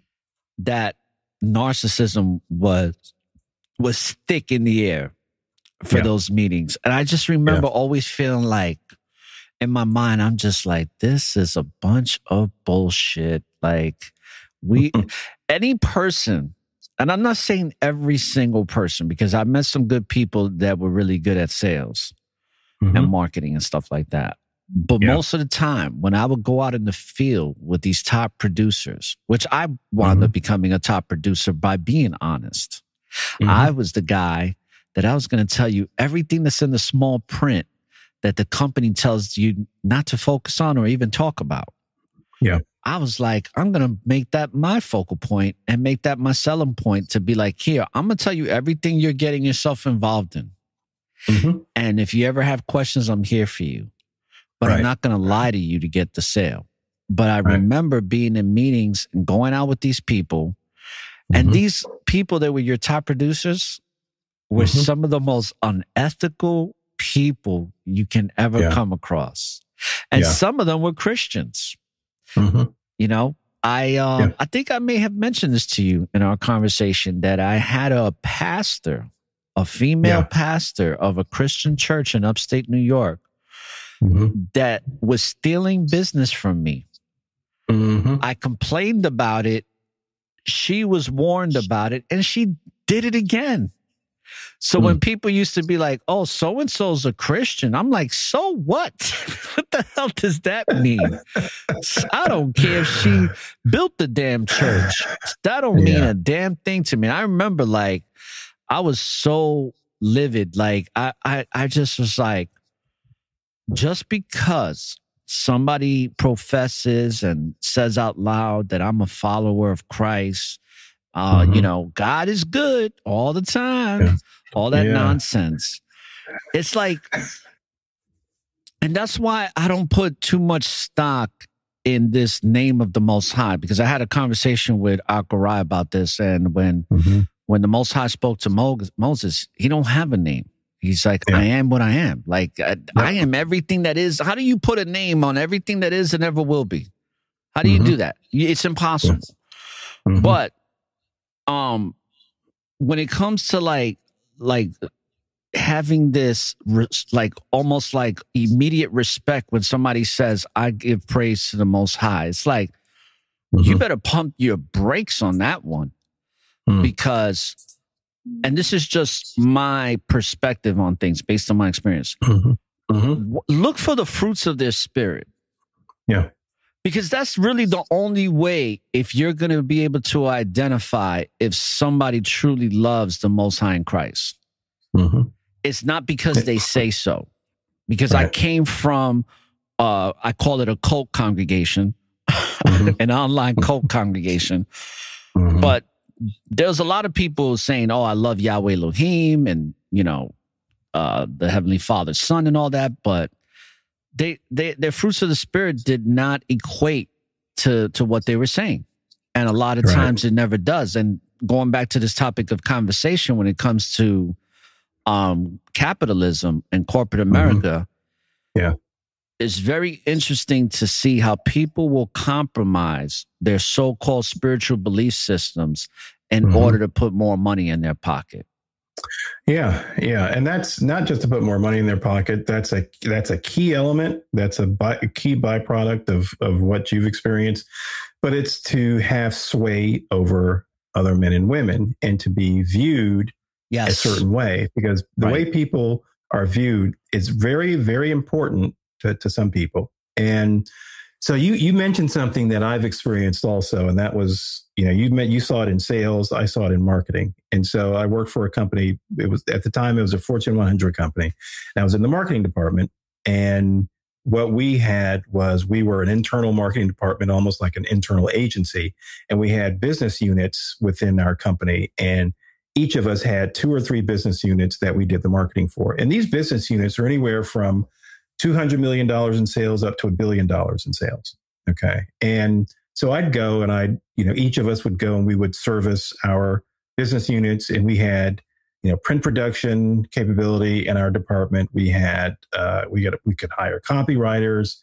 Um, we worked with an ad agency, et cetera. So whenever we would have a weekly meeting, um, within our own internal department, and we would share what we're doing with our business units. It was it was something that was kind of a, a it was something that was a shock to me, but it was something that I had to get used to because I wasn't used to when it comes to when it comes time for me to talk about what I'm doing for my clients. You know, it's like jump on the table with pom poms and do a big cheer about, hey, this is what I'm doing, and this is so great and this is so wonderful. My colleagues were doing that. But I struggled with doing that. I would say, well, I'm doing this, I'm doing that. Yep, we've made this progress, et cetera. But I wasn't a big giant cheerleader. Now, granted, most of the people in the department were women, so maybe they were predisposed to doing that. But um, and these were very capable women too. So I'm not saying that you know they weren't capable, but um, I I was I I had to learn how to in the again keeping in mind the environment that I'm in, not that I'm buying into this whole narcissistic environment thing, but I had to understand the environment that I'm in. So I had to give and show my boss and his boss basically what they wanted to see. And that was, hey, I'm excited that I'm doing good work for my clients. And that was pretty much the extent of it. So I learned to do that better, which was helpful for me because by the time I had my first business and I had to go sell my services, I'm not going to be subdued when it comes to, hey, I can do this for your company, I can do that for you. I had to convince them that I had I, I had the capability to do these things for their companies.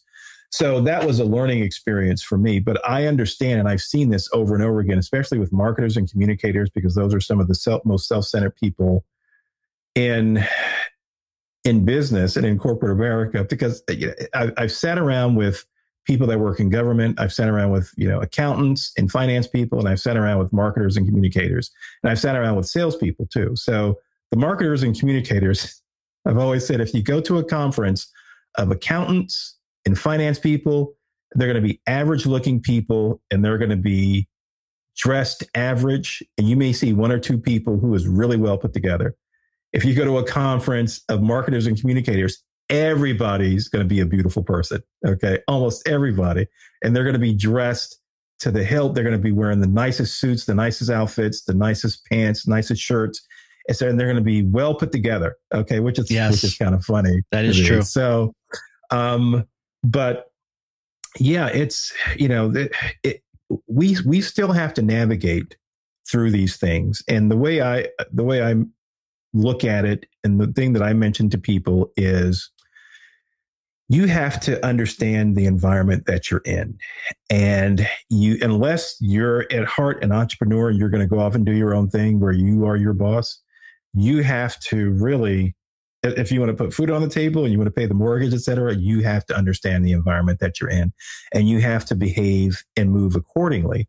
Doesn't mean you have to be a narcissist, but it means that if, if there's a way that you have to present yourself or present the work that you're doing, you should do that. You know, not because you've sold out to the enemy or anything remotely close to that, but your job in the, in my company, my business, your business, it's a tool and you know there there's a scripture in ecclesiastes about m- money being a defense. Wisdom is a defense and money is a defense. Okay. So these things are tools for us and you have to make these things your tool. And so some people look for validation and peace etc through the nature of their jobs and what they do for a living. And that's a trap because our our trust and our peace has to come from the most high that being the case, we can go and do anything pretty much anywhere, you know, unless it's, you know, completely breaking the commandments or something. But if we've got a job and it's paying us a salary and, you know, whether we're making a lot or a little bit,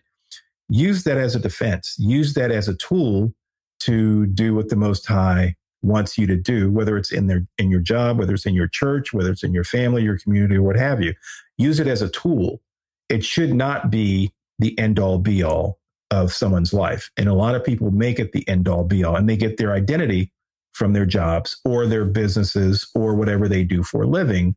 And if you were to take that away from them, what are they? They, they yes, it's like they're nothing. That's so, right. That's like yeah, when so you ask somebody who you are, opposed to what you do. The yeah. answer to who you are is the answer to what they do. Right.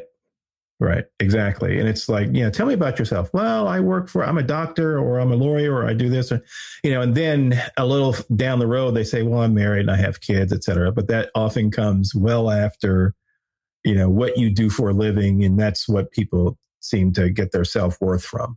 So, uh, and look, we've all, to some degree, we've all been guilty of that. Okay. Right. Including myself. You know, it's like, uh, that's not who I am. Who am I really? You know, I have to look at it as, you know, if I'm serving the Most High and I'm pursuing the Most High, and I desperately, desperately want to um, try to be perfect as my Father in heaven is perfect, then I'm going to be studying scriptures. I'm going to be looking at doing videos. I'm going to be looking at talking to my family members and people that I've known and gotten to know over the course of my adult life. And the way I see it, and I, I've had to be better at talking to people who are not in the truth because when I first got into truth, I'm like, can't you see this? This is so obvious. And it's like people, again, pe- people are blinded and we have to right. allow the Most High to work in them in order to um, uncover that blindness. And we may not see it. You know, we may just be plant- planting seeds. But I, I equated it to you're on a train that's heading 120 miles an hour towards a cliff. Now, we don't know exactly when the cliff is going to appear. We're going to go down into the crevasse. Okay.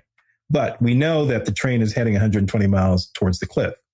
And so all of us were on that train at one point or another. And by the grace of the Most High, we got taken off that train. And so now you see other people, people you know and love and you've you've known all your life still on that train.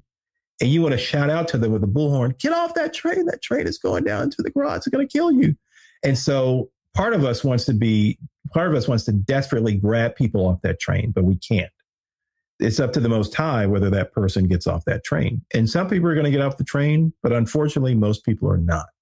Okay. And so, and we don't know who will and who will not get off the train, who, who, are, who will or will not be pulled off the train by the most high. But it's not up to us. You know, should we plant seeds? Should we talk to them? Absolutely. If, if the, if the opportunity presents itself, by all means, we, we have the responsibility to do that. But we can't pull anybody off the train that doesn't want to be pulled off the train. You know, even though we got pulled off the train and we understand where the train is headed. But given all praises to the Most High, he he pulled us off the train, and uh, before it went crashing down, and um, you know, Lord's will, He'll pull other people that we know and love off that train too. Yeah, especially with the satanic serum, man. I keep going back to that because that was Oh man. You want to talk Yeah. about like that's that's what I was doing with certain family members. I was trying to get them off the train. I was like, "Why are you going on the train? You haven't listened to my podcast. You heard my podcast. You heard what I've been saying on the podcast. How in the hell are you going on the damn train after I told you what's going to happen?" And you know, people like my brother, my oldest brother, "Oh, I want to fly." I'm like, hmm you know, but it's like, hey, there's plenty of people flying that didn't do that. So why, Yeah. you know, but it is what it is. Yeah. You can't stop them, man. And that, that's what I called a convincer. When I first came into the truth a long time ago, I was trying to convince everybody about the truth. I was trying to convince people that they're a spiritual being having a physical experience opposed to the other way around. hmm But you have to learn the Most High will put you through certain things to bring you to an understanding that that's not your purpose. It's not Right. so much that you have to convince people. Right. You you become the example, hmm and for those that are ready to receive the message through your example, through your interactions with them, will be Mhm. ready to receive it. Those that don't, that's not your responsibility. Absolutely, bro. And You you hit on a very interesting point about trying to convince people of that issue, and it's a couple of brothers did a really good class a few months ago about the enemy's purpose of dividing and conquering. Okay, so using this issue as a wedge issue to create divides between family members, between um, husband and wife, between friends, et cetera, coworkers, and what have you. And it's it's insidious. It's it's and they hit the nail on the head. And it it made me realize, you know, number one, they were right. And then I had to look at what was going on with spiritual eyes with people that I knew. And you know, I had people like like you and like everybody else saying, "You need to take this. Why aren't you taking it?" And you know, I I called myself trying to convince people or give an explanation why, and then I realized I don't I don't have to give anybody an explanation about any of this about any of this stuff. Right. If you want to do it and you've done your due diligence and your research, by all means, do what you think is the right thing to do. And you know, and, and we see what's happening now. And I I I hope and pray, and I don't know whether it's in vain that you know people that I know and love will, will not suffer the same fate. But again, you you chose to do this, and the thing that is fascinating is again whether or not we decide to trust the Most High or we trust in man.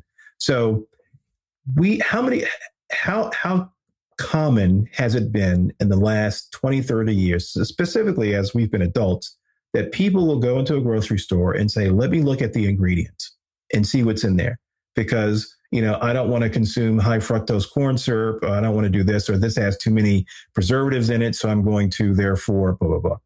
And some of those same people will say i don't know what's in this thing but i'm going to take it anyway you know which again is a bit of cognitive dissonance. But what it's rooted in what it's truly rooted in which is again is is, is an insidious plan of the enemy is to under is to um, trap people who care about what other people think of them and there are a lot of people who follow the crowd and a lot of people who are locked into this matrix system who think who believe that things are occurring by accident. It's just by chance. Uh, the things, the major things that we see happening in this world are, are all planned. Okay. They're not by accident. It's not like, oh, this happened. It was an accident. It was horrible. No, a lot of this stuff is planned. And so if we're not of the mind to realize that this world lieth in wickedness, and that's not, I mean, the Most High is not a liar. And so if he says it is, then it is. It doesn't mean that, well, most of the world is Christian and there are a few bad players. No, it means the whole world lieth in wickedness. And so because of that, the love of many of, has already gone cold. You've got people literally murdering people around the world to get their end, either to sacrifice to their God or to basically get what they want. And, and that's been happening forever. But you see it in this world and it happens and the people say it doesn't happen. Okay. Or the media says it doesn't happen or the media ignores it. Okay. Because they're all part of the same system. Um, but you know, the, the, the purpose of that whole thing that everybody wanted you to take is to, is to, um, implement peer pressure to pressure you into doing something so nobody would say, you're causing all this stuff. You're a murderer if you don't get it. Because, you know, which we know now the opposite is true that if you did get it, you were likely shedding and you were getting sick all the time and you were potentially um, passing oh. on to other people and making them sick. And there, brother there's even, be careful with those with those words, brother. Oh, I'm sorry. Yeah, I'll, you said to... the S word. Just be careful. I'm just saying. okay. No, I, I appreciate. Thanks for thanks for the warning. So yeah, um, because uh, I'm telling you, the level of censorship these days is it's boy, yeah. the enemy's working overtime. But go so ahead, I'll, continue. I'll say, I'll say, I'll say, impacted the way people yeah. are impacted. Um, and so, but this is all is again insidious plan of the enemy to make it so that um, if they can't, if they're, if the marketing and communications and the promotion doesn't get people to do it, then their family and friends will get them to do it. Okay, because everybody wants to be, um, everybody wants to be accepted. Nobody wants to be an outcast, right? Although the Most High said, if we're if we're the disciples of Christ, we're going to be a peculiar people anyway. So, but people don't want to be peculiar people don't want to stand out or be made fun of or looked at as nerds or looked at as odd. But you know, that's that's one of the prices we have to pay if we decide to follow the Most High. I don't know if you can hear the uh, the yeah. What is that? Is that um, is that the lawnmower? Yeah, that's they landscape over here every week, once a week. So I'm gonna I'm gonna stop. I'm gonna put my thing on mute if you want to um, continue or comment on what I said. No, that's fine. Um, I was just laughing because I'm like, oh, you said the S word. now, I don't think I'm gonna. I don't think any censorship is gonna come of that. But yeah. see, that's the thing. Is like it, it's uh, it, it, it they got it to where you you're walking on eggshells, you know, and that's yeah. one of the things I don't like. But let's um let's go let's let's wrap things up. So um I want to bring up one last thing and get your uh, thoughts on this because I'm pretty sure you'll have some interesting things to say about this. But when it comes to economics, uh, the world economy, but let's focus on the United States and let's focus on narcissism when it comes to economics. And I'm I'm going to make it real simple. When we had President Trump, okay, and you want to talk about narcissism and being the poster child I mean, you couldn't have a better candidate than President Trump, right? I can't even believe that we're calling him President Trump. Like, who would have thought when we were watching Back to the Future and seeing President, you know, as Trump being president, people are like, look at that. They think President Trump is going to be, he's going to be president in the future. It's like you were saying, all of this is planned there's nothing by coincidence. And like the movie V says, and I love that statement, it says that coincidence doesn't exist, only the illusion of it. That is the only thing that's real, is the illusion of coincidence, but it's not. It's more of a coincidence. But when it comes to economy, when it comes to this thing that you were breaking down so wonderfully about image, about people wanting to be seen a certain way, how most people don't want to be looked at as peculiar. Um, what do you think happened on why people and and I'll, I'll give you my opinion. I think a lot of the reasons why the country, when President Trump was in office, was getting worse and worse is because people want to not only trust in man and they venerate man all the time, but we're coming to a point now in society as a whole, especially in the United Shenanigans of America, that everybody now believes what somebody says if it sounds good to their ego. So when you have a guy that's like, I, I've had the most, I brought the most jobs out ever in the history of this country. Um, the country's never been better. I'm going to make this country great again, even though this country's never been great. Um, what do you think is the psyche now, people, on how people have become so, I guess the word that I could think of is unspiritual. People are more cardinal now these days. Yeah. So it's one yeah. of those things where people are a lot less spiritual these days, even though they're still yeah. spiritual beings having a physical experience. But why do you think people just believe what's good that sounds good in their ears? Like they just, you have a man that literally lies on stage with some of the most obscene type of rhetoric, lies, and you're just like, people are eating this shit up. How is that even possible? But the scriptures talks about how in these days and time, um, which is my favorite scripture in the book of Isaiah, which is uh, Isaiah chapter 5, verse 20, where they've accepted the darkness for the light and the light for the darkness, right? We're seeing that more and more now. Why do you think that is? Why do you think that people so willingly believe a lot of the shenanigans that our narcissists of the world are are telling people? Yeah. So um, that is a good question. The answer is manifold. It's it's an overarching big answer, and it, uh, I'm going to start this by saying, so I, I've been, you know, at my age, I've experienced a number of presidential campaigns, and I actually have a book that, uh, and I, I've, I, I see politics now as more of a sport than something to really quote unquote believe in. Uh, the, politics is like the NFL. Okay, so the NFL, you have, um, you know, whether it's the Packers against the the Bears or the Redskins against the Cowboys, and Cowboys fans hate Redskins fans, and Redskins fans hate Cowboys fans. It's like almost like at each other's throats, but it all comes under the auspices of the NFL. Okay, so and that these rivalries are scripted. Okay, in other words, yeah, it's a rivalry, but the NFL is in business to entertain. It's not to provide fair competition. And people think it's it's all fair happenstance right. coincidence.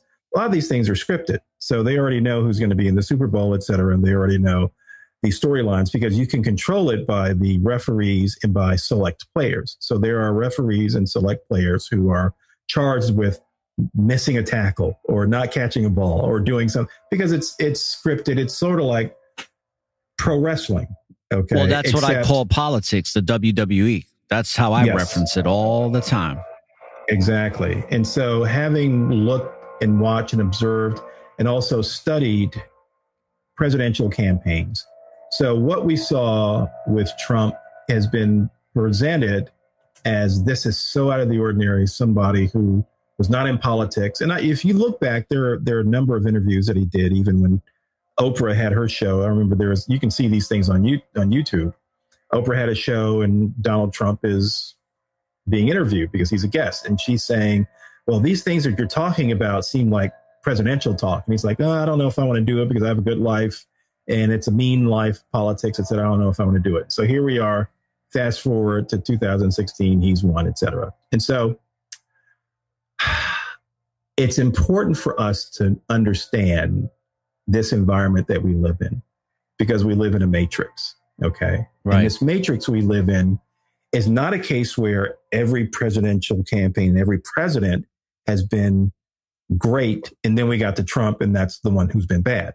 Yeah. They've all been bad. They, they are all the basis of men as, as the scriptures say. And the most high decides who's going to be in office and who's not going to be in office. Okay. So I ask people, you know, there, there's a scripture in Daniel where, um, it says the most high is the one he, he puts people in place and he removes people.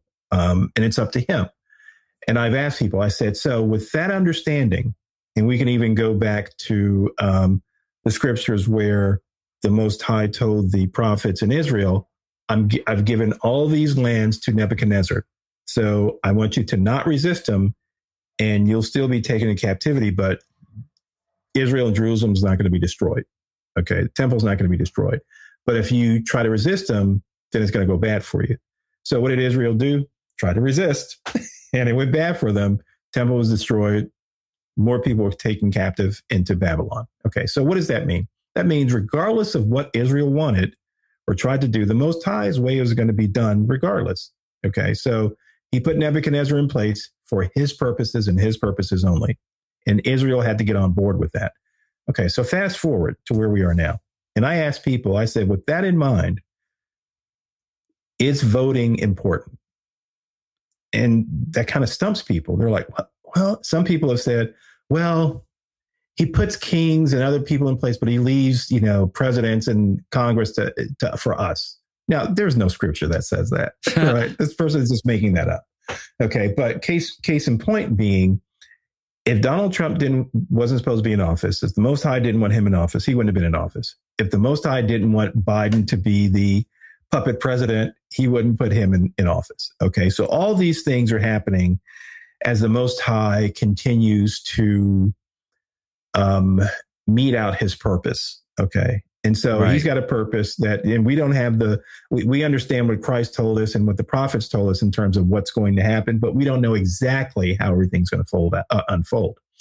So because of that, we have, we really should, if we're being honest with ourselves, we have to look at every president, especially in our lifetime, every president going back from, you know, Biden to Trump to Obama. And I know people love Obama, but again, it is what it is. Going back to second Bush, going back to Clinton, going back to the first Bush, going back to Reagan also. And we people think that, oh my goodness, Reagan was the best president in the world. Now, granted, as a business owner, there are things that I like that certain administrations have done because I'm an entrepreneur, I'm a business owner. That doesn't mean that these people are the greatest in sliced bread.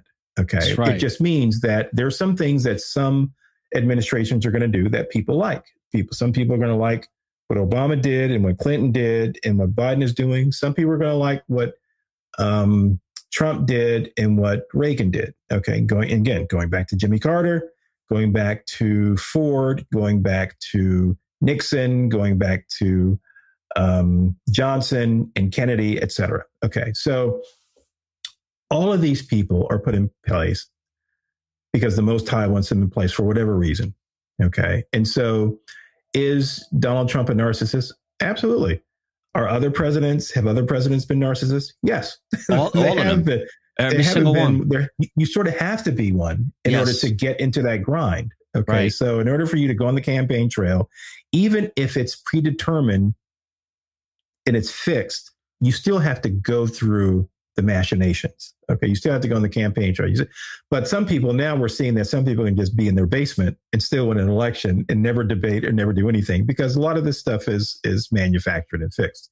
So um so I think what you, what you suggested and what you mentioned is nothing new as we said, there's nothing new under the sun. So these things have been happening for a while. And you look at the people who loved Obama, who are like, oh my goodness, there's a black president now, because that's the most important thing is that we have a black president, right? That solves every issue, right?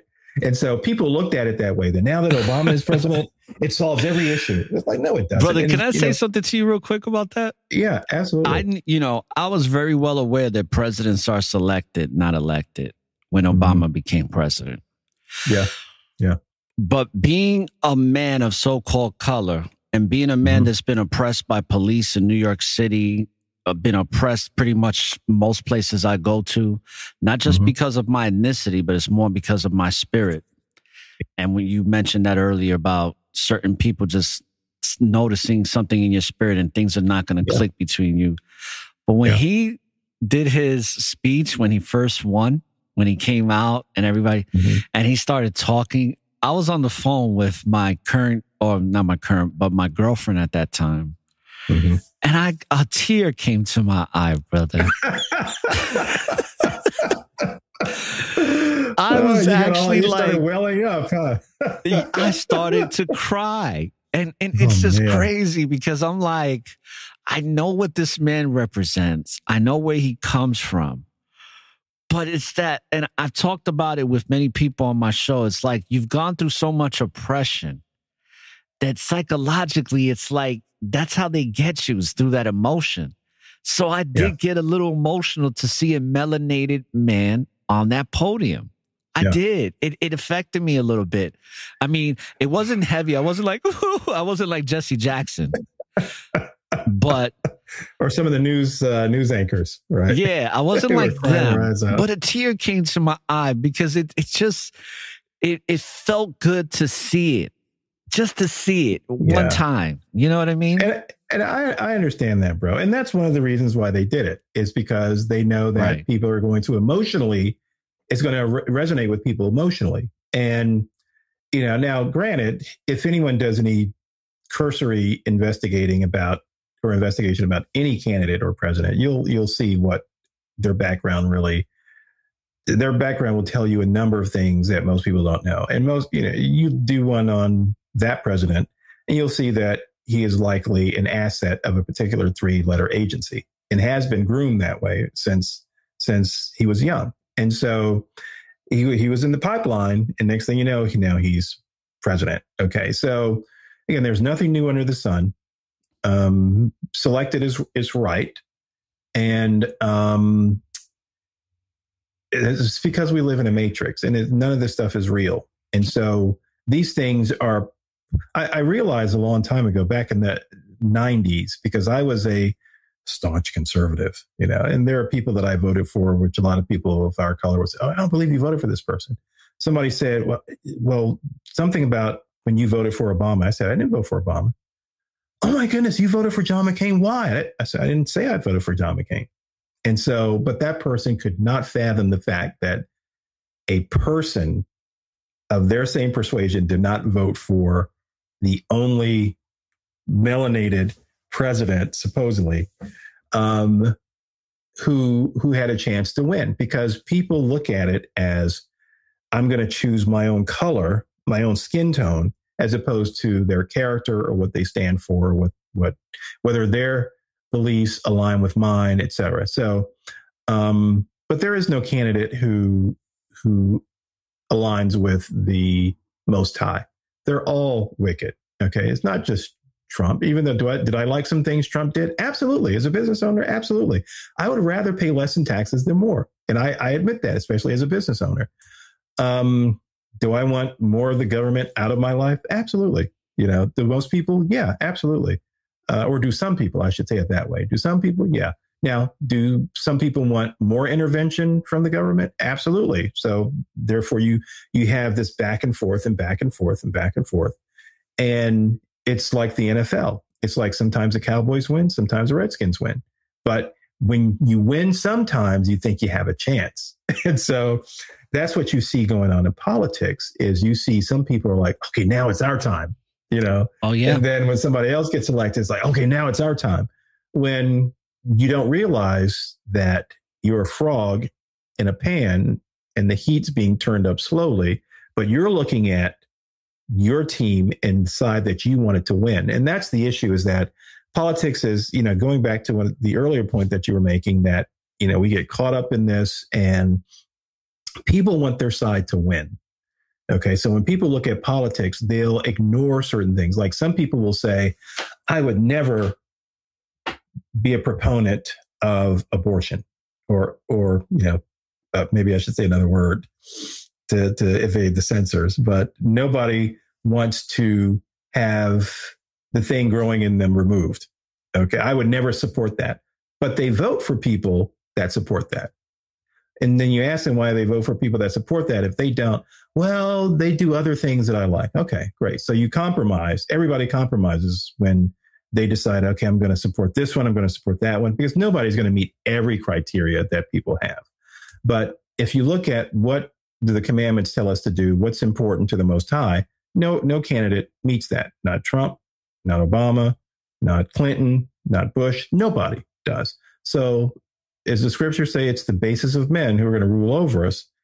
It, that's exactly what it is. These are not the best people that you could possibly have. The best people don't want to get into politics because it's a grind. It's it's horrible. It's terrible. And so you have people who are narcissists, people who want to be viewed, people who want attention, and people who think, "Hey, I've got skills that nobody else has, and I could do X, Y, Z." they're the people that get into politics or are recruited to be into politics, who are recruited to be in politics. Because now you have people, you have organizations and uh, different people recruiting senators, people who run for Congress, people who run for president, et cetera. You rarely have somebody saying, you know what, this is just terrible. I'm just going to run because I just think it's wrong. I just think so many things are wrong. If you ever had that candidate, that candidate's not going to make it out of the primaries. Okay. So it is what it is. And so people who are elected or selected, they are the basis of men. They don't have these uber redeeming qualities. They're not keeping the commandments. They're not following the Most High. But we have to live in this world. It doesn't mean that we're supposed to resist and resist and protest, etc. There's a scripture that I, I don't have in front of me now, but it talks about the people that are put in place of you uh, in in rulership over you. You're not. We're not supposed to spend our time protesting against that because the Most High put that in place. And so we, if we do that, we're doing it to our own detriment. And so, but what did we see? What do we see now with Biden? You know, we have the the chant that is very popular about let's go Brandon. You know, we have that and that's chanted all over the world. It's funny to a lot of people. But then, you know, when Trump was in office, you had resist. And so everybody was like, we got to resist this president. He's an illegitimate president. And then before him, you had people who didn't like Obama either because of his skin color or because of his policies or what have you. And they were like, he's a liar, et cetera. And then you had people who were defending him uh, and then even before that, you know, you had Bush who got us into these wars, which they were all pre planned anyway, and so on and so forth. And so you can go back to every president and say, well, here's, you can go back to, to Woodrow Wilson getting us, getting America into World War One. You can go back to Roosevelt getting America into World War Two. So it's, it's ongoing. There is no president, nor will there ever be a president that people can look to and say, oh my goodness, there, this is the per- person we needed. Now you're going to have a lot of people in our, in this society, in this country, who are going to look at candidates or presidents and say they've been the best one I've ever had. They've been the best president I've ever had. They've been the best vice president. They've done this. They were so wonderful. But again, that's by the world standards. And so that should not be our, that can't be our standard is to look at these people in office who all of them are narcissists, all of them. We can't look at them and say, you know, we we like them, we aspire to be like them. Someone asked me a question a while ago. So there's there's one person that I talk politics with, no holds barred. I don't, I don't do that with most people because most people can't handle conversations like that, and people get upset and feelings hurt, etc. Not that I'm in, not that I'm insulting people. I'm just bringing out the truth. So anyway, but there's one person that I speak to on a regular basis who I can have a conversation with this person and we're still we still love each other okay and so it's it's it's pretty good exercise to bring about specific truths and to bring about certain things and um this person asked me he said well do you admire this person or do you admire that person and i said i don't know them how can i admire them if i don't know them the only thing i know about them is what we're being fed about them, what we're being told about them. I've never met them, haven't spent any time with them. We're not buds. We don't talk on the phone. So how can I admire anyone that I don't know? And that goes with celebrities. That goes with sport sports figures. That goes with politicians. We don't know these people. So how can we admire them? Now we could say, hey, they've done something that's very interesting. And you could say that that's interesting, but you don't know them. And so how can you admire somebody that you don't know? And so point being that politics, sports, entertainment feeds off of this, off of people who want to admire somebody, who want to see somebody succeed or want to glom on to somebody's success. And, you know, people have asked me, well, you're a business owner. You've, you know, you must have had many mentors. And my answer is always my biggest primary mentor by far was my father. And he was an entrepreneur. You know, he worked, but he also had a side business.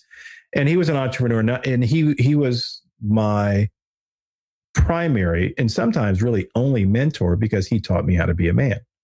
You know, he I saw I observed him and he was a good looking guy and I've never seen him once flirt with a woman.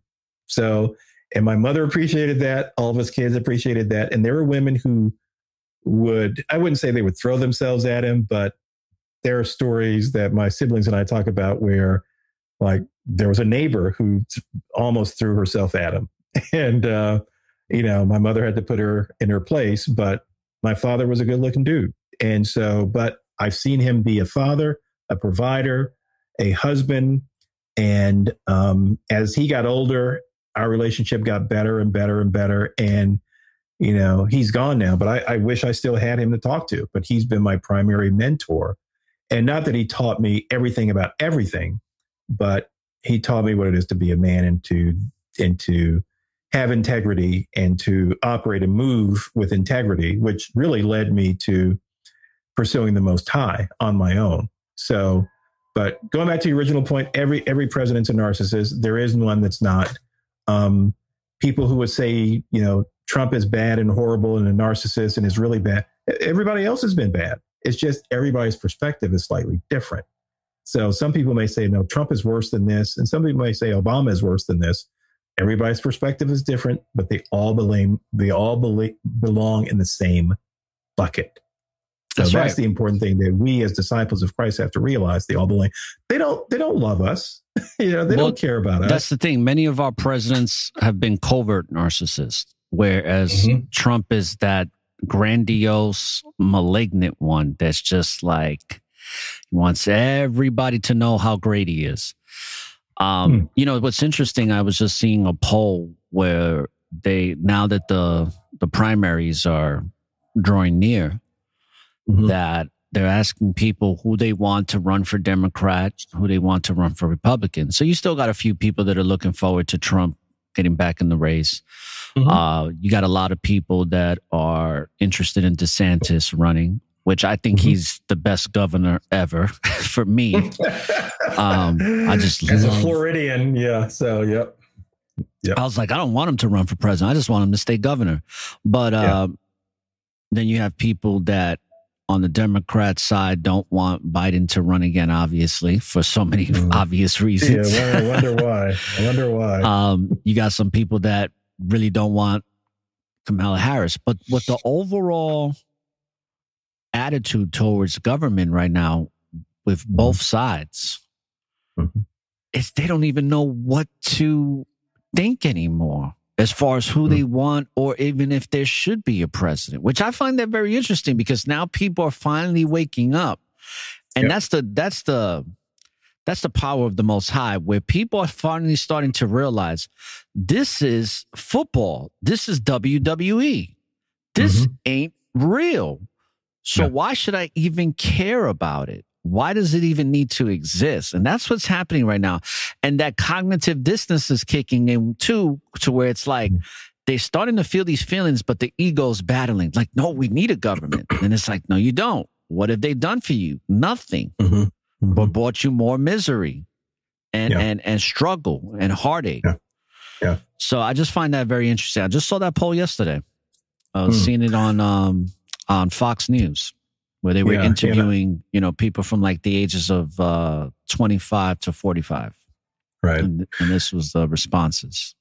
Yeah. And I think, you know, for, again, the, the world is going to be the world. And um, we're always going to have, in, until the Most High puts an end to it, we're going to have people running for office. We're going to have corruption. We're going to have all right. these things in place. And our role as disciples of Christ is to obey the Most High through Christ. And that doesn't mean trying to overthrow anything. It doesn't mean that we have to start all these protests. It doesn't mean any of that. It means that we are supposed to serve the Most High and we're supposed to, you know, try to live peaceably with with everybody if we can.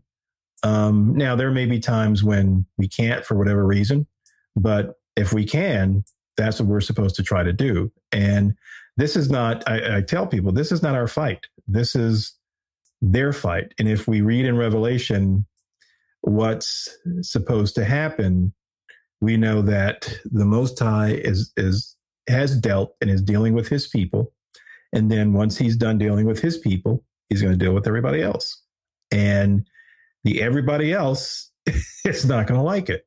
And so, but you know, hopefully, Lord's will, we have ears to hear and, and eyes to see and to understand what's going on by reading and studying the scriptures and to be ready for what happens next. You know, we talk about, you know, the the thing, the thing that everybody wants everybody to take. You know, there may be some uh, some other things coming down the pike, and so what are how are we going to prepare for that?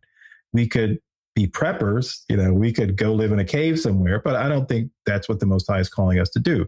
No, I think He's calling us to have faith and then stand on our faith. And if we really trust the Most High and we believe that He's telling the truth, then He's going to do what He's going to do. He's going to do what He promised He's going to do, and He's He's promised He's going to take care of His people. He's not going to leave or abandon us.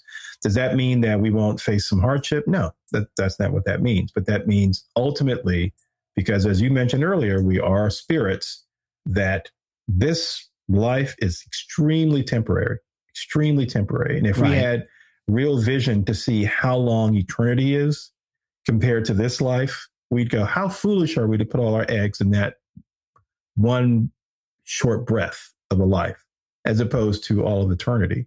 And so we just have to be prepared here and physically as much as we as much as makes sense, you know, but really we just have to be prepared in our mind and our heart to to continue to serve the most high and all this other stuff that the heathen in the world is doing, let them do it because they're going to do it anyway, as long as the Most High allows it to happen. But I, I'm, I'm putting my trust, and we should put our trust in the Most High through Christ.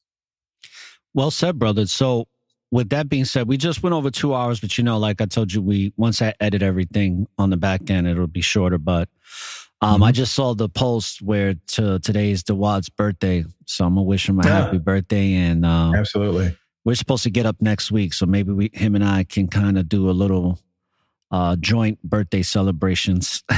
nice for nice. this That'd month. So many birthdays in the month of January. Um, I, yeah, quite a few. Right. Um, but mm-hmm. with that being said, brother, um, let's wrap it up. Uh, any final comments and also plug the people into your business. Let them know where they can reach you and all that good stuff. Let them know what you got going on.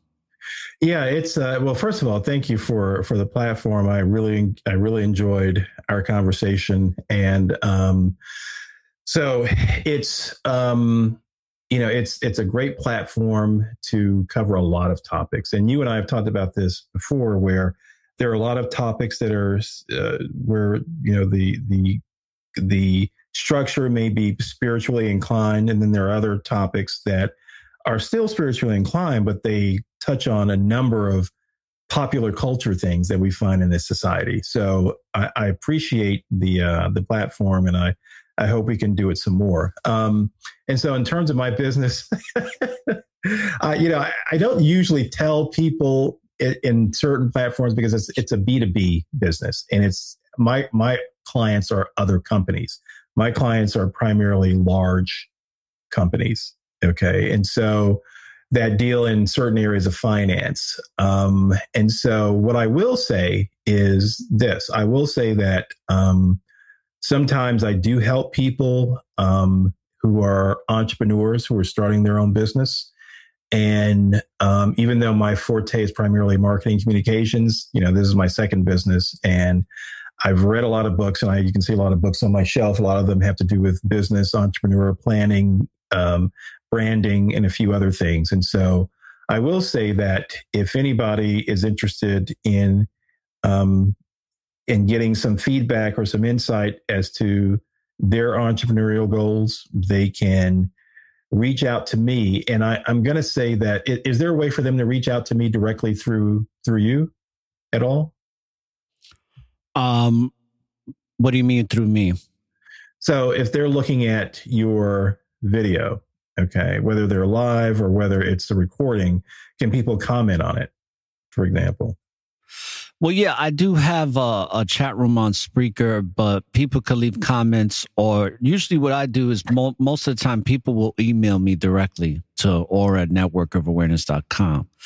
Okay. So anybody that's So- uh, interested in your services, you can drop your email right now, and I Okay. can put it in the description box uh, as far as your contact information if people Okay. want to contact you. Because I'm definitely going to be asking you for advice on how I can grow my influence, not just not with the podcast specifically, but overall making this podcast grow as a business when Right, it comes right. to uh, marketing. Because I want Right. to get sponsors again, um, and I want to, you know, get these commercials. But in order for me to do that, I still have to increase my listenership. Right. Yeah. So the the email that I would give people is, and this is an email that I give, you know, just anybody, um, if they want to ask questions or if they they want me to re- reach out to them, you can use the email William Romeo. This is a strange email address, but William Romeo, R O M E O, sounds like Romeo, but it's Romeo seven seven seven six at Gmail. So that's the email that's the best email for anybody listening to the podcast. If they want to pick my brain about stuff or they want some insight or some uh, suggestions about their entrepreneurial dreams, feel free to reach out to me and um, you know hopefully we can we can chat about it. And can you repeat that email one more time? You said William Romeo. William Romeo and Romeo is spelled like Romeo Okay. and then seven seven seven six at gmail.com. All right. I'll make sure to put that inside the uh, description box. Okay. Okay. And uh, any anything else? Any final comments before we close things out? Bro, you, I, uh, I, sort of already gave uh, my final thought before, but I, but like I said, I can go on for hours about this, Yeah. about these topics. So, Okay. but no, I, I, we, we've covered a lot of ground, and again, I appreciate the opportunity to discuss these things on your platform. and it won't be the last. So, and with some of the things will. that we're going to be coming up, you and I will be able Mhm. to do our more spiritual sessions on a different platform. And then Yep. we can talk about society, culture, and and this matrix on the network of awareness. Yep. so with that being bro. said, Lord's will. brother, um, Most High Christ bless you as well. Um, Okay, most um i'm gonna close things out because um you you've given a wealth of information and perspective on Mhm. this matrix and how things really work so i hope that Yeah. those people are listening have gotten great substance from this i know i have and uh let's close things out here so thank you right, again man. to seer and by the way can you let people know what the what the hebrew name to seer means Um, I believe it means ambassador. So uh, maybe that coincides with the fact that I'll talk to anybody about Christ and about what he's done for us, regardless of skin color or what what, what supposed nation they're from. So I think that's that's the reason, or that's the uh, the the background of that particular name. Okay, great. So, with that being said, brothers and sisters, um, want to thank you for tuning in to this episode, um, which is uh, season five, episode forty-five, and this episode is um, it's all about you know we talked about a lot of things, but uh, this episode was all about you know the world economic systems and how they're rooted in wickedness. So I hope that you got great substance, brothers and sisters. And like I always say, don't look for the light at the end of the tunnel because the light is and always will be within you. So light up the tunnel and find your way through the darkness. And when you live in the presence of the Most High and in Christ and you live that life, there is always an opportunity for a new beginning for you to begin that righteous life if you seek and desire it. through the grace of the Most High, all things are possible. So, shalom, barakatah, peace and blessings. Peace, love, and light, brothers and sisters.